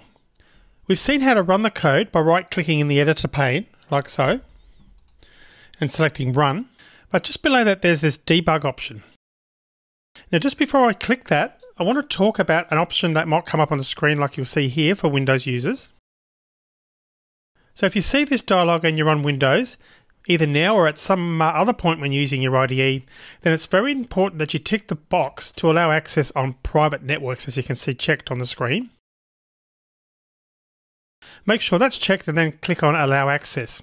Failing to do that, you'll find that uh, basically IntelliJ or your IDE, whatever you're using, won't be able to access the internet. Now on a Mac, although I haven't got a screenshot for this, you may notice there's a little message that can appear down the bottom right hand corner suggesting you install a Cython extension. Now, if you're using a different implementation of Python other than what uh, we've suggested you install in this course, you won't see that. But with the C Python implementation on a Mac, you should see a pop up uh, at some point. But I suggest you ignore it, and if you do that, the dialog will disappear after a short while. Now this particular extension on a Mac it can be really useful if you've got a large code base, but uh, at the moment the code in this course isn't complex enough to benefit from installing another extension. It's really just introducing another potential point of failure, so for that reason I suggest uh, you ignore it.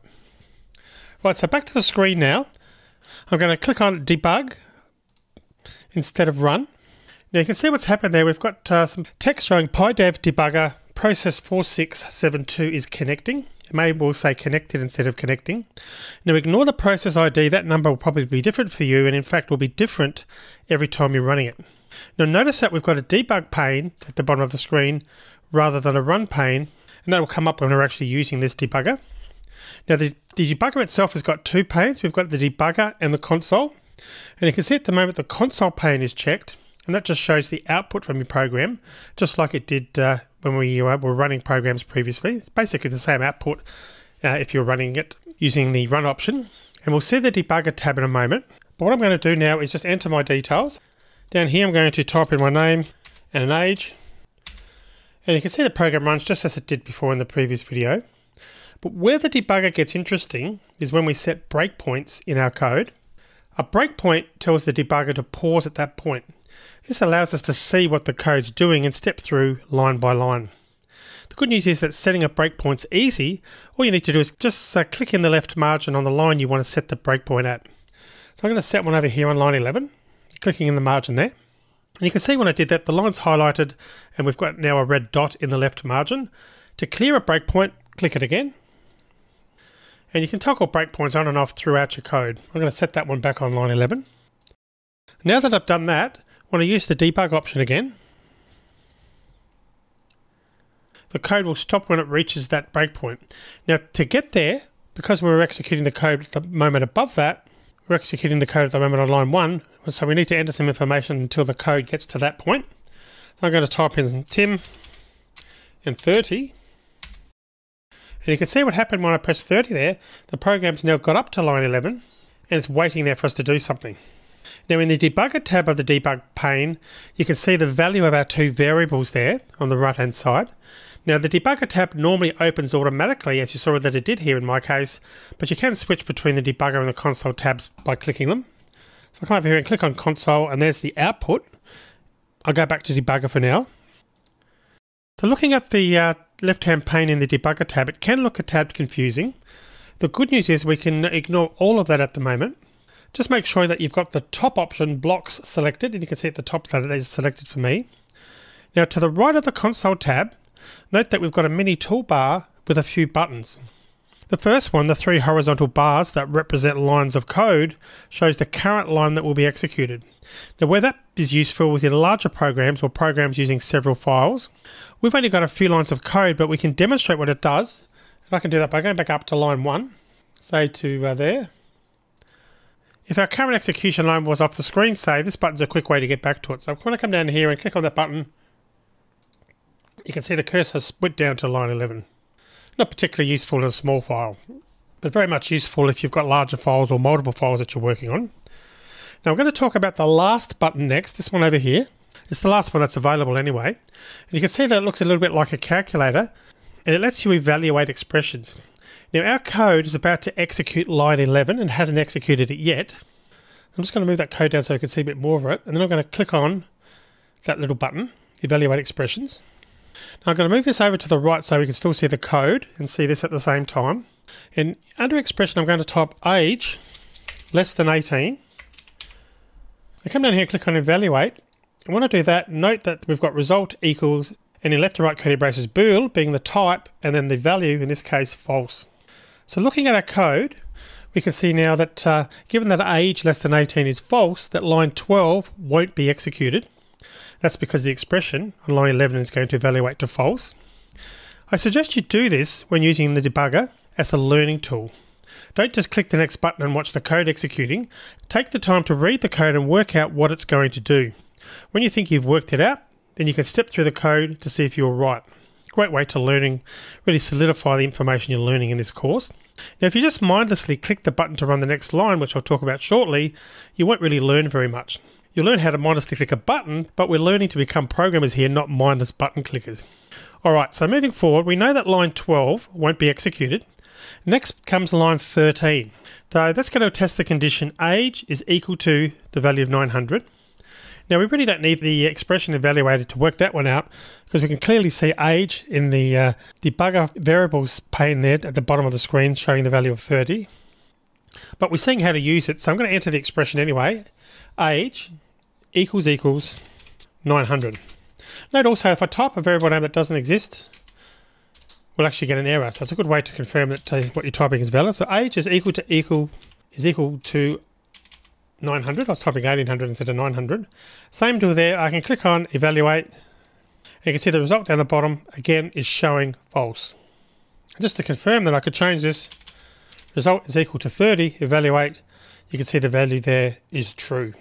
So can see how this is a very useful tool, but I'll set it back to 900. You can evaluate, we get false again. Basically that's telling us also that the code on line 14 won't be executed either. Alright, so there's no other conditions in our short little program to check, and none of the ones we've checked were true. So the only really thing left now is the else block, so that's what's ultimately going to be executed on line 16. So let's see if we're right. I'm going to firstly close the evaluate uh, pop-up. Let's have a look at some of these other buttons here to the right of that uh, this little button here that we've already talked about, the show execution point. Now, the two buttons we're going to look at at the moment are this one here, which is the step over and step into. We're not really going to look at this other one, step into my code at this point. Specifically, it's uh, these first two which appear to do the same thing. And we'll actually look at step into when we actually start writing our own functions. For now though, I'm going to come over here and click on step over, noting that we've got a shortcut key we could uh, use instead of clicking if we prefer. So I'm going to click that once. Notice when I do that, the code on screen has jumped to line 13. So line 12 didn't get executed as we expected, and we're at the elif statement on line 13. I'm going to click the button again and see what happens with this expression. And you can see also we were right again. In this case, line 14 wasn't executed. Instead, we've skipped straight down to the else code on line 16. Basically, we knew that both of those expressions evaluated to false, and uh, got, we've got confirmation of that by clicking on the step over button. Now we can also confirm that nothing's been output by clicking over here to the console tab, so I'll do that now. And notice we've got the uh, two bits of information that I typed in, but we've, got no other output at this time. But if I click on step over one more time now, you can see that caused line 16 to execute. We've got the message you're old enough to vote printed in the console. Clicking it one more time will execute the last line and then end the program. And you can see that's what's happened. We've got the message, put an X in the box, and the program terminates. Alright, so that's the debugger. Now we're going to be using the debugger a lot in the early sections. I don't recommend using one for real debugging unless you're totally stuck, but they're a great way to watch your code executing while you're learning about it. Experiment with setting breakpoints and stepping through your code to get used to using the debugger. Now, before I finish, there's another button I want to show you. It's very useful if you do get stuck, if you step too far, for example, or end up debugging the Python libraries. So I'm going to run the program in the debugger one more time. So notice the red square over to the left hand side of the screen down the bottom. That's used to stop execution, allowing you to start again if you get caught or get into a mess. You might get some errors when you stop the program, but I'm going to click on that now. Now I've only got a note there saying the process finished with exit code minus one, but if you do get some errors when you stop the program, that's fine. Ignore any errors in that scenario. That's completely okay when you're terminating the program, as we've done there by stopping it. So with that said, I'm going to finish now, and uh, in the next video, what we're going to do is uh, start taking a look at uh, more on if, elif, and else. See you in the next video.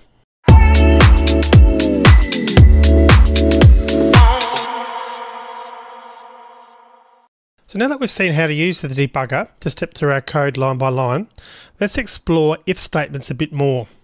So I'm going to continue with the uh, project we set up for this uh, section of the course, Program Flow. We're going to create a new Python file. We're going to call that guessing game.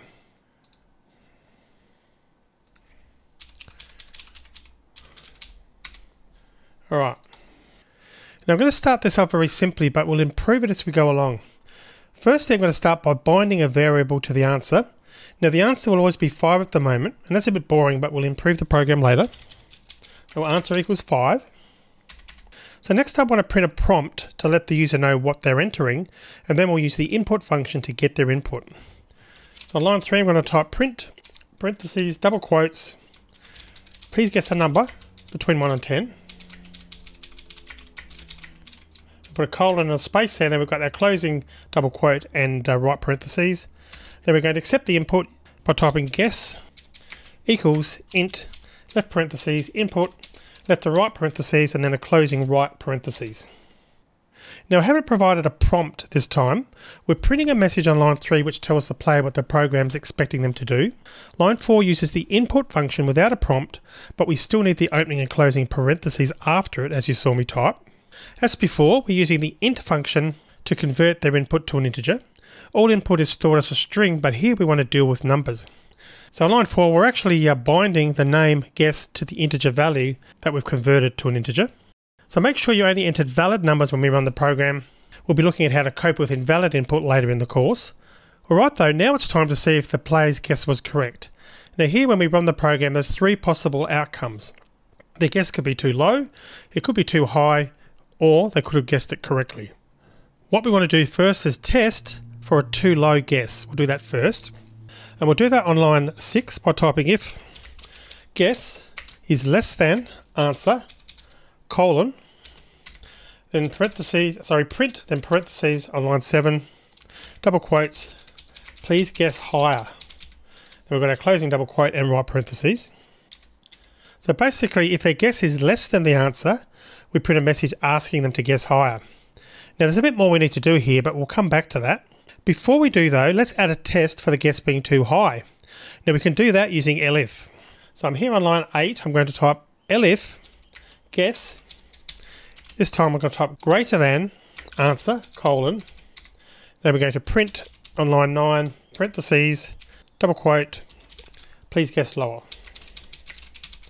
Then we've got our closing double quote and right parentheses. Now you might think that we can just use if there, and you often can, but I'm going to discuss why that's sometimes not a good idea shortly. Alright, so if the condition on line 6 is false, the condition on line 8 is tested. And if that evaluates to true, in other words, if their guess is greater than the answer, then we print the message, please guess lower. So that's two of the three possible outcomes dealt with. We're checking for the guess being less than the answer and for it being greater than the answer so far. If both those conditions are false, then the guess must be equal to the answer. In other words, they've guessed correctly.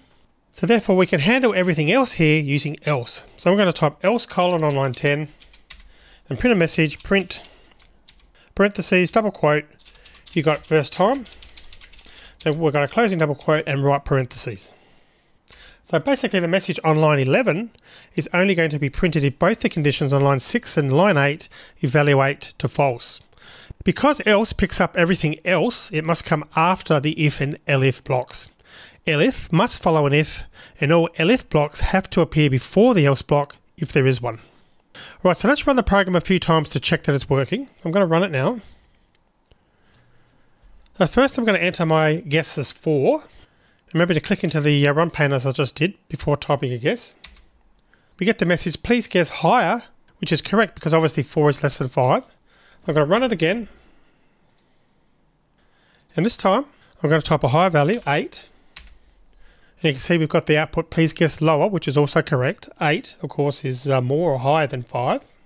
The third test is when the guess is correct, so I'm going to run that again. And this time I'm going to type in the value 5, and we've got the message you got it first time on screen. So run the program a few times with different guesses to make sure it works. And in the next video, what we'll do is we'll run the program in the debugger to check what it's doing. See you in the next video.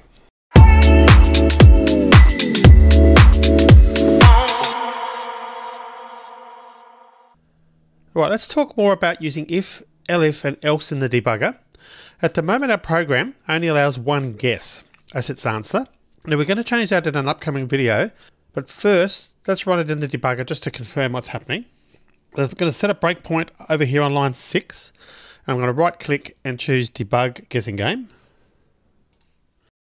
Now if you're using a different IDE, just start your debugger in the usual way. Alright, so at the moment, you can see down the bottom of the screen, our program's waiting for our input. So I'm going to click into here and enter the answer 3. That's obviously less than our answer 5.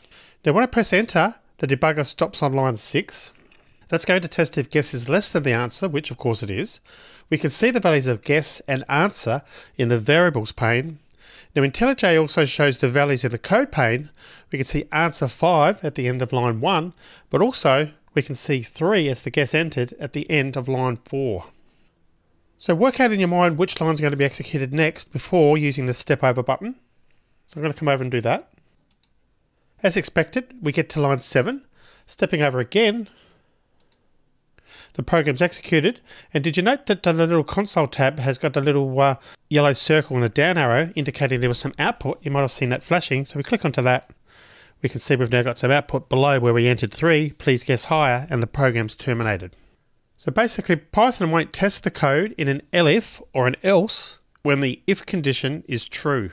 And obviously in this case, guess less than answer was true, it printed please guess higher, and the program terminated.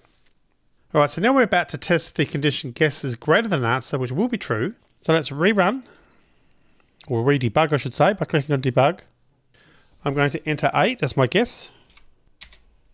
We've stopped on line 6 again, and this time the condition is going to be false because 8 is obviously less than 5. So I'm going to step over. Next, we're about to test the condition guess greater than answer, which will be true. So I'm going to step over again. Stepping over one more time. You can see the flashing little down arrow in the console tab at the top there. Click on that, and we can see the output, please guess lower. All right, so let's run the program one more time in the debugger this time. We're going to enter the guess as 5. All right, so now that we've entered 5, so the condition on line 6 will be false, and so will the condition on line 8. Those lines will still get executed. Python has to evaluate the conditions to know what the results will be. It's the code in the blocks after the if and elif that will get skipped. So let's use step over to see the uh, first condition getting evaluated. And then we'll click step over again to evaluate line 8. Execution has jumped to line 11. Note that the else isn't evaluated. There's no condition to evaluate. Else blocks will be executed if nothing else evaluated to true. The rules I mentioned a couple of videos ago are simple. So an if statement begins with the keyword if followed by a condition. The if condition will always be evaluated. Next, you can have one or more elif blocks. You don't have to include elif, and we will be seeing code that doesn't. But if you have any elif lines, then they come after the if. Elif also has to come before else, if there is an else. And finally, you may have an else block. You don't have to use else, but if you do, it must come after the if. And it must also come after any elifs if there are any. Alright, so we're back in the code here, and I'm going to uh, click on step over one more time. Program's ended. Click on the console tab, and you can see you've got it first time as outputted to the screen.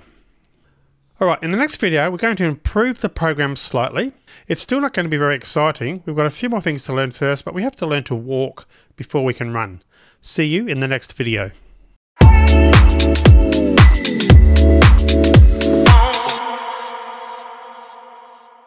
Alright, so let's revise our guessing game. Specifically, what we're going to do is give our players another guess, and we'll do that by requesting input again. So at the moment, we've got the code on line 6 which tests whether guess is less than answer. Then we print a message, please guess higher. We're going to add some code down here on line 8. And we're going to type guess equals int parentheses input, left to right parentheses, and then a closing right parentheses. Now it's important that this line is indented at the same level as line 7, and in my case you can see that it is. Both lines are part of the same code block and are indented to the same level. Alright, so at this point we've got a second guess from the player. The next step is to see if that guess was correct or not. So we're going to add some code on line 9 now. If guess is equal to answer, so two equal signs there, colon, and then the next line print parentheses, double quote, well done, you guessed it. And obviously we've got a closing double quote and right parentheses there. So we're comparing guess to answer to see if they got the correct answer. So note that we have to use two equal symbols here, one on line 8 and one on line 9. A single equal is used when binding a variable to a value, or when assigning a value to a variable, if you prefer to think of it that way. Now when testing for equality, we use two equal signs. Okay, so that's all we need to do. We've used an if statement to check if they got the right answer. I'll leave the code like that because I want to make it clear that you don't have to have elif and else in your if statements. The code would benefit from an else clause, but we'll come back to that. Alright, so that's the second guess when the first guess was lower than the answer. We'll do the same thing if it was higher. So I'm going to come down specifically to the code here, and on line 13, type the same code in. I could copy and paste it. I'll type it in again. Guess equals int, left parentheses, input, left to right parentheses, and then closing parentheses. If, on the next line, guess is equal to, so two equal signs, answer colon, press enter, print parentheses, double quotes, all done, you guessed it. Alright, so we've done the same when testing whether the guess is greater than the answer as well. And again, very important that uh, you've got the correct indentation there and that the code's indented nicely under the print statement on line 12, which we've done. So our if and elif blocks each contain now another if block. Specifically, that's the blocks on lines 9 to 10 and also on lines 14 to 15. The two if statements are indented one level at the same level as the other lines in the same block as you can see. Lines 10 and 15, they're indented another level because they're in another block. Those lines will only be executed when the condition guess is equal to answer is true. Alright, so let's see if this works. I'm just going to run this as opposed to debugging.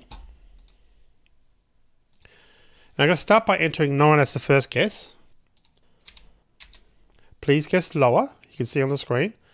Now there's quite a few tests to do here to check every possible path through the code. So let's guess correctly this time. I'm going to enter 5 as the second guess. We get the message, well done, you guessed it, printed by line 15.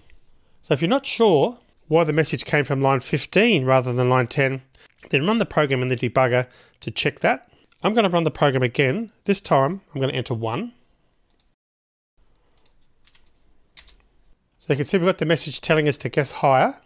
So I'm going to enter 5. Well done, you guessed it on the screen. And this output came from line 10. And again, if you're not sure why that's the case, make sure you run the code through the debugger, step through the code, and you'll see that that's the case. All right, the code's working when we guess correctly the second time, but what happens if we get the second guess wrong? Well, let's test that. So I'm going to enter 1 again, and now I'm going to enter 9 and as you see, that's not really very helpful. The program's terminated without telling us what happened. I wanted to show that you don't have to use elif and else clauses, but we really should use else here to print out a message when the second guess is wrong. So let's actually add the code. So I'm going to come up to uh, do that on uh, after line 10. So I'm going to come down here. I'm going to press backspace so that my else is on the same level as the if. Else colon enter print on the next line parentheses Sorry, you have not guessed correctly. And we want to do the same thing when the guess is too low. And that's down here on line 18, which it will be when I type it. I'm backspacing again to make sure the else is at the same indentation level as the if else. Print, parentheses, double quotes.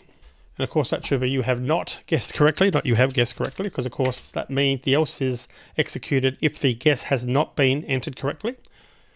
Same down here, so sorry, you have not guessed correctly.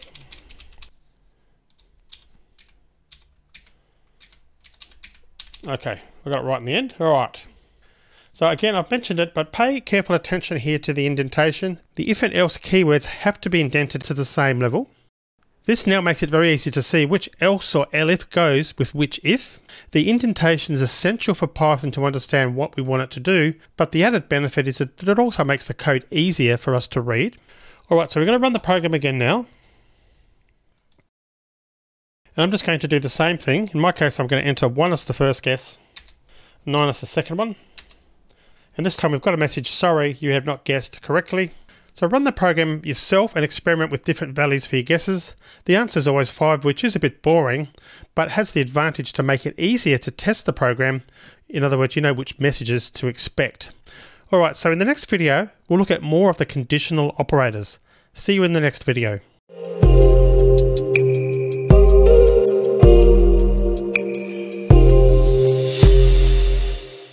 Right, so let's talk more about conditional operators in Python. But before we look at other conditional operators, let's review the code from the last video. So on line 6, we test to see if the original guess is less than 5. If it is, we print another message and allow another guess. If the original guess is not less than 5, then line 13 checks if it's greater than 5 using elif. We allow another guess if it's greater than 5. If neither of those conditions are true, then the guess must have been equal to 5. This is picked up by the final else on line 20. There are better ways to write code like this as we'll see shortly. We've duplicated exactly the same code in the if and elif blocks. The duplicate lines are lines 8 to 12 and also 15 to 19. Whenever you see duplication like this happening, that's a good indication that it can be done better. For now though, this example has illustrated a number of important concepts. Alright, so let's talk about if blocks. So a block can be quite complex, including further if and else blocks and much more contained within it. When testing for equality, we can't use a single equal symbol. The single equal is used for assigning values to variables, so when testing for equality, we have to use two equal signs, the equals equals. An if statement can include many elif parts, but there can only be one else. Elif, by the way, is short for else if. The else, if there is one, must come after all the elif blocks. Duplicating code is generally a bad idea, there's almost always a better way.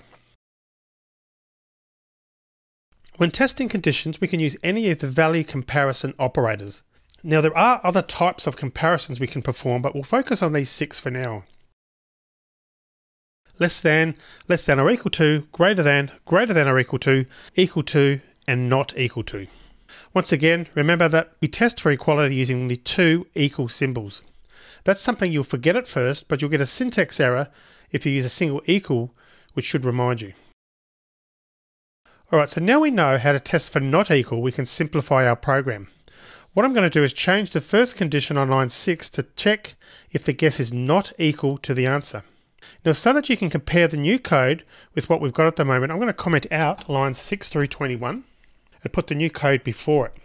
In the, the JetBrains IDEs, you can comment out a block of code by using Control slash or Command slash on a Mac. So I'm going to select lines 6 through 21, Control slash in my case because I'm on Windows. Now I'm not aware how to do of a way to do that in IDLE. You may have to edit uh, each line individually if you're using uh, IDLE. Now comments are ignored by the Python interpreter and they're there to document your code. In this case, the comments prevent the code from being executed. Generally, you should use them to explain what you've, when you've done something in a certain way or as a reminder of certain conditions or variable states that uh, may not be obvious by looking at the code. Remember that you may come back to modify code weeks or months or even years after you wrote it. Documentation can be extremely helpful when you work on another programmer's code for the first time or come back to your own code after a gap. In Python, comments, as you can see, start with the hash symbol, and they actually can appear on a line on their own or at the end of a line of code. You can't place them in the middle of a line though. The hash inside a string is treated just like any other character and doesn't include a comment. If you want to comment or span several lines, and start each line with a hash, as I've done here. Alright, so let's now start typing in some new code. So I'm going to come up to the top here, and specifically on line 6, I'm going to start typing if guess is not equal, we're using the not equal comparison operator answer colon. And the next line, line 7, I'm going to do if guess is less than answer, colon, print, parentheses, double quotes, and please guess higher in those double quotes. Otherwise, I'm going to do an else, noting that I've gone indented back at the same level as the if on line 7, else, colon. I'm going to put a comment here, hash, guess must be greater than answer. I'm going to print, or type in print, parentheses, double quotes, please guess lower. Then on the next line, I'm going to go back a level again. So I'm at the same level as the else now. Guess equals int, left parentheses, input left to right parentheses and closing right parentheses for our guess. Then I'm going to type if guess is equal to answer, so two equal signs, colon, print, parentheses, double quotes, and well done, you guessed it in double quotes. Else, again at the same level as the if, colon, print, parentheses, double quotes, sorry, you have not guessed correctly. Correctly. And then I'm going to go back, back again. So we're all the way to the left margin, again lined up with the if on line 6, else colon, print, parentheses, double quotes. You got it first time. Okay, so there's our code. So once again, this highlights the importance of indentation in Python. Our second guess on line 11 is at the same indentation level as the if and else statements on lines 7 and 9. It's not dependent on either condition, in other words. We get a different message if guess is greater than 5 or less than 5, but line 11 is executed regardless of the outcome of the if else clauses. I've also added a comment to the code on line 9 this makes it clear to any humans reading the code what's happening. If you were to read the inner block in isolation, it may not be obvious that the guess must be greater than 5 rather than a greater than equal to, i.e. not less than 5. The comment draws attention to the fact that uh, we would not have got into the inner block if guess is equal to 5. You can often do the same thing in many different ways, and this is an example of doing that. This new code does exactly the same thing as the previous code. That's the code now that has been commented out on lines 19 through 34 and I'm going to take the opportunity to remove our breakpoint there. Now this can often confuse new programmers because there's usually more than one way to do the same thing. Both of these bits of code will produce exactly the same results when given the same inputs. Of course the code on lines 19 through 34 won't do anything now because they start with a hash, in other words it's been commented out. They're ignored when we run the program, but if they weren't commented out, they'd uh, produce the same results as the code we've now got on lines 6 through 17. So let's check that by running the program to make sure that it still works. Alright, so I'm going to use the same guesses that I used in the previous video. The first guess was 9, so I'm going to do that again. And we get the message, please uh, guess lower. I'm going to enter 5 as the second guess. Well done, you guessed it. I'm going to run the program again and uh, use 1 as our first guess. So please guess higher is output to the screen. 5, that's my second guess. Well done, you guessed it. So that's still working. Run it one more time. Run the program again. One. This time we're going to enter nine. Sorry, you have not guessed correctly. So that's working fine and produces exactly the same results as the previous now commented out code. You uh, may also want to set breakpoints and run the code in the debugger. Remember to think about which lines should be executed before stepping over the conditions to verify your results. Alright, so I'm going to finish this video now with a challenge and we'll go over the solution to the challenge in the next video. So the challenge is to change the condition on line 6 to if guess is equal to answer, and you saw that previously it was not equal to answer. So change it so it says if guess is equal to answer, and then change the program in the appropriate places to give the correct results. Right, so that's the challenge. See how you go with the challenge, and uh, we'll go over the solution to the challenge in the next video.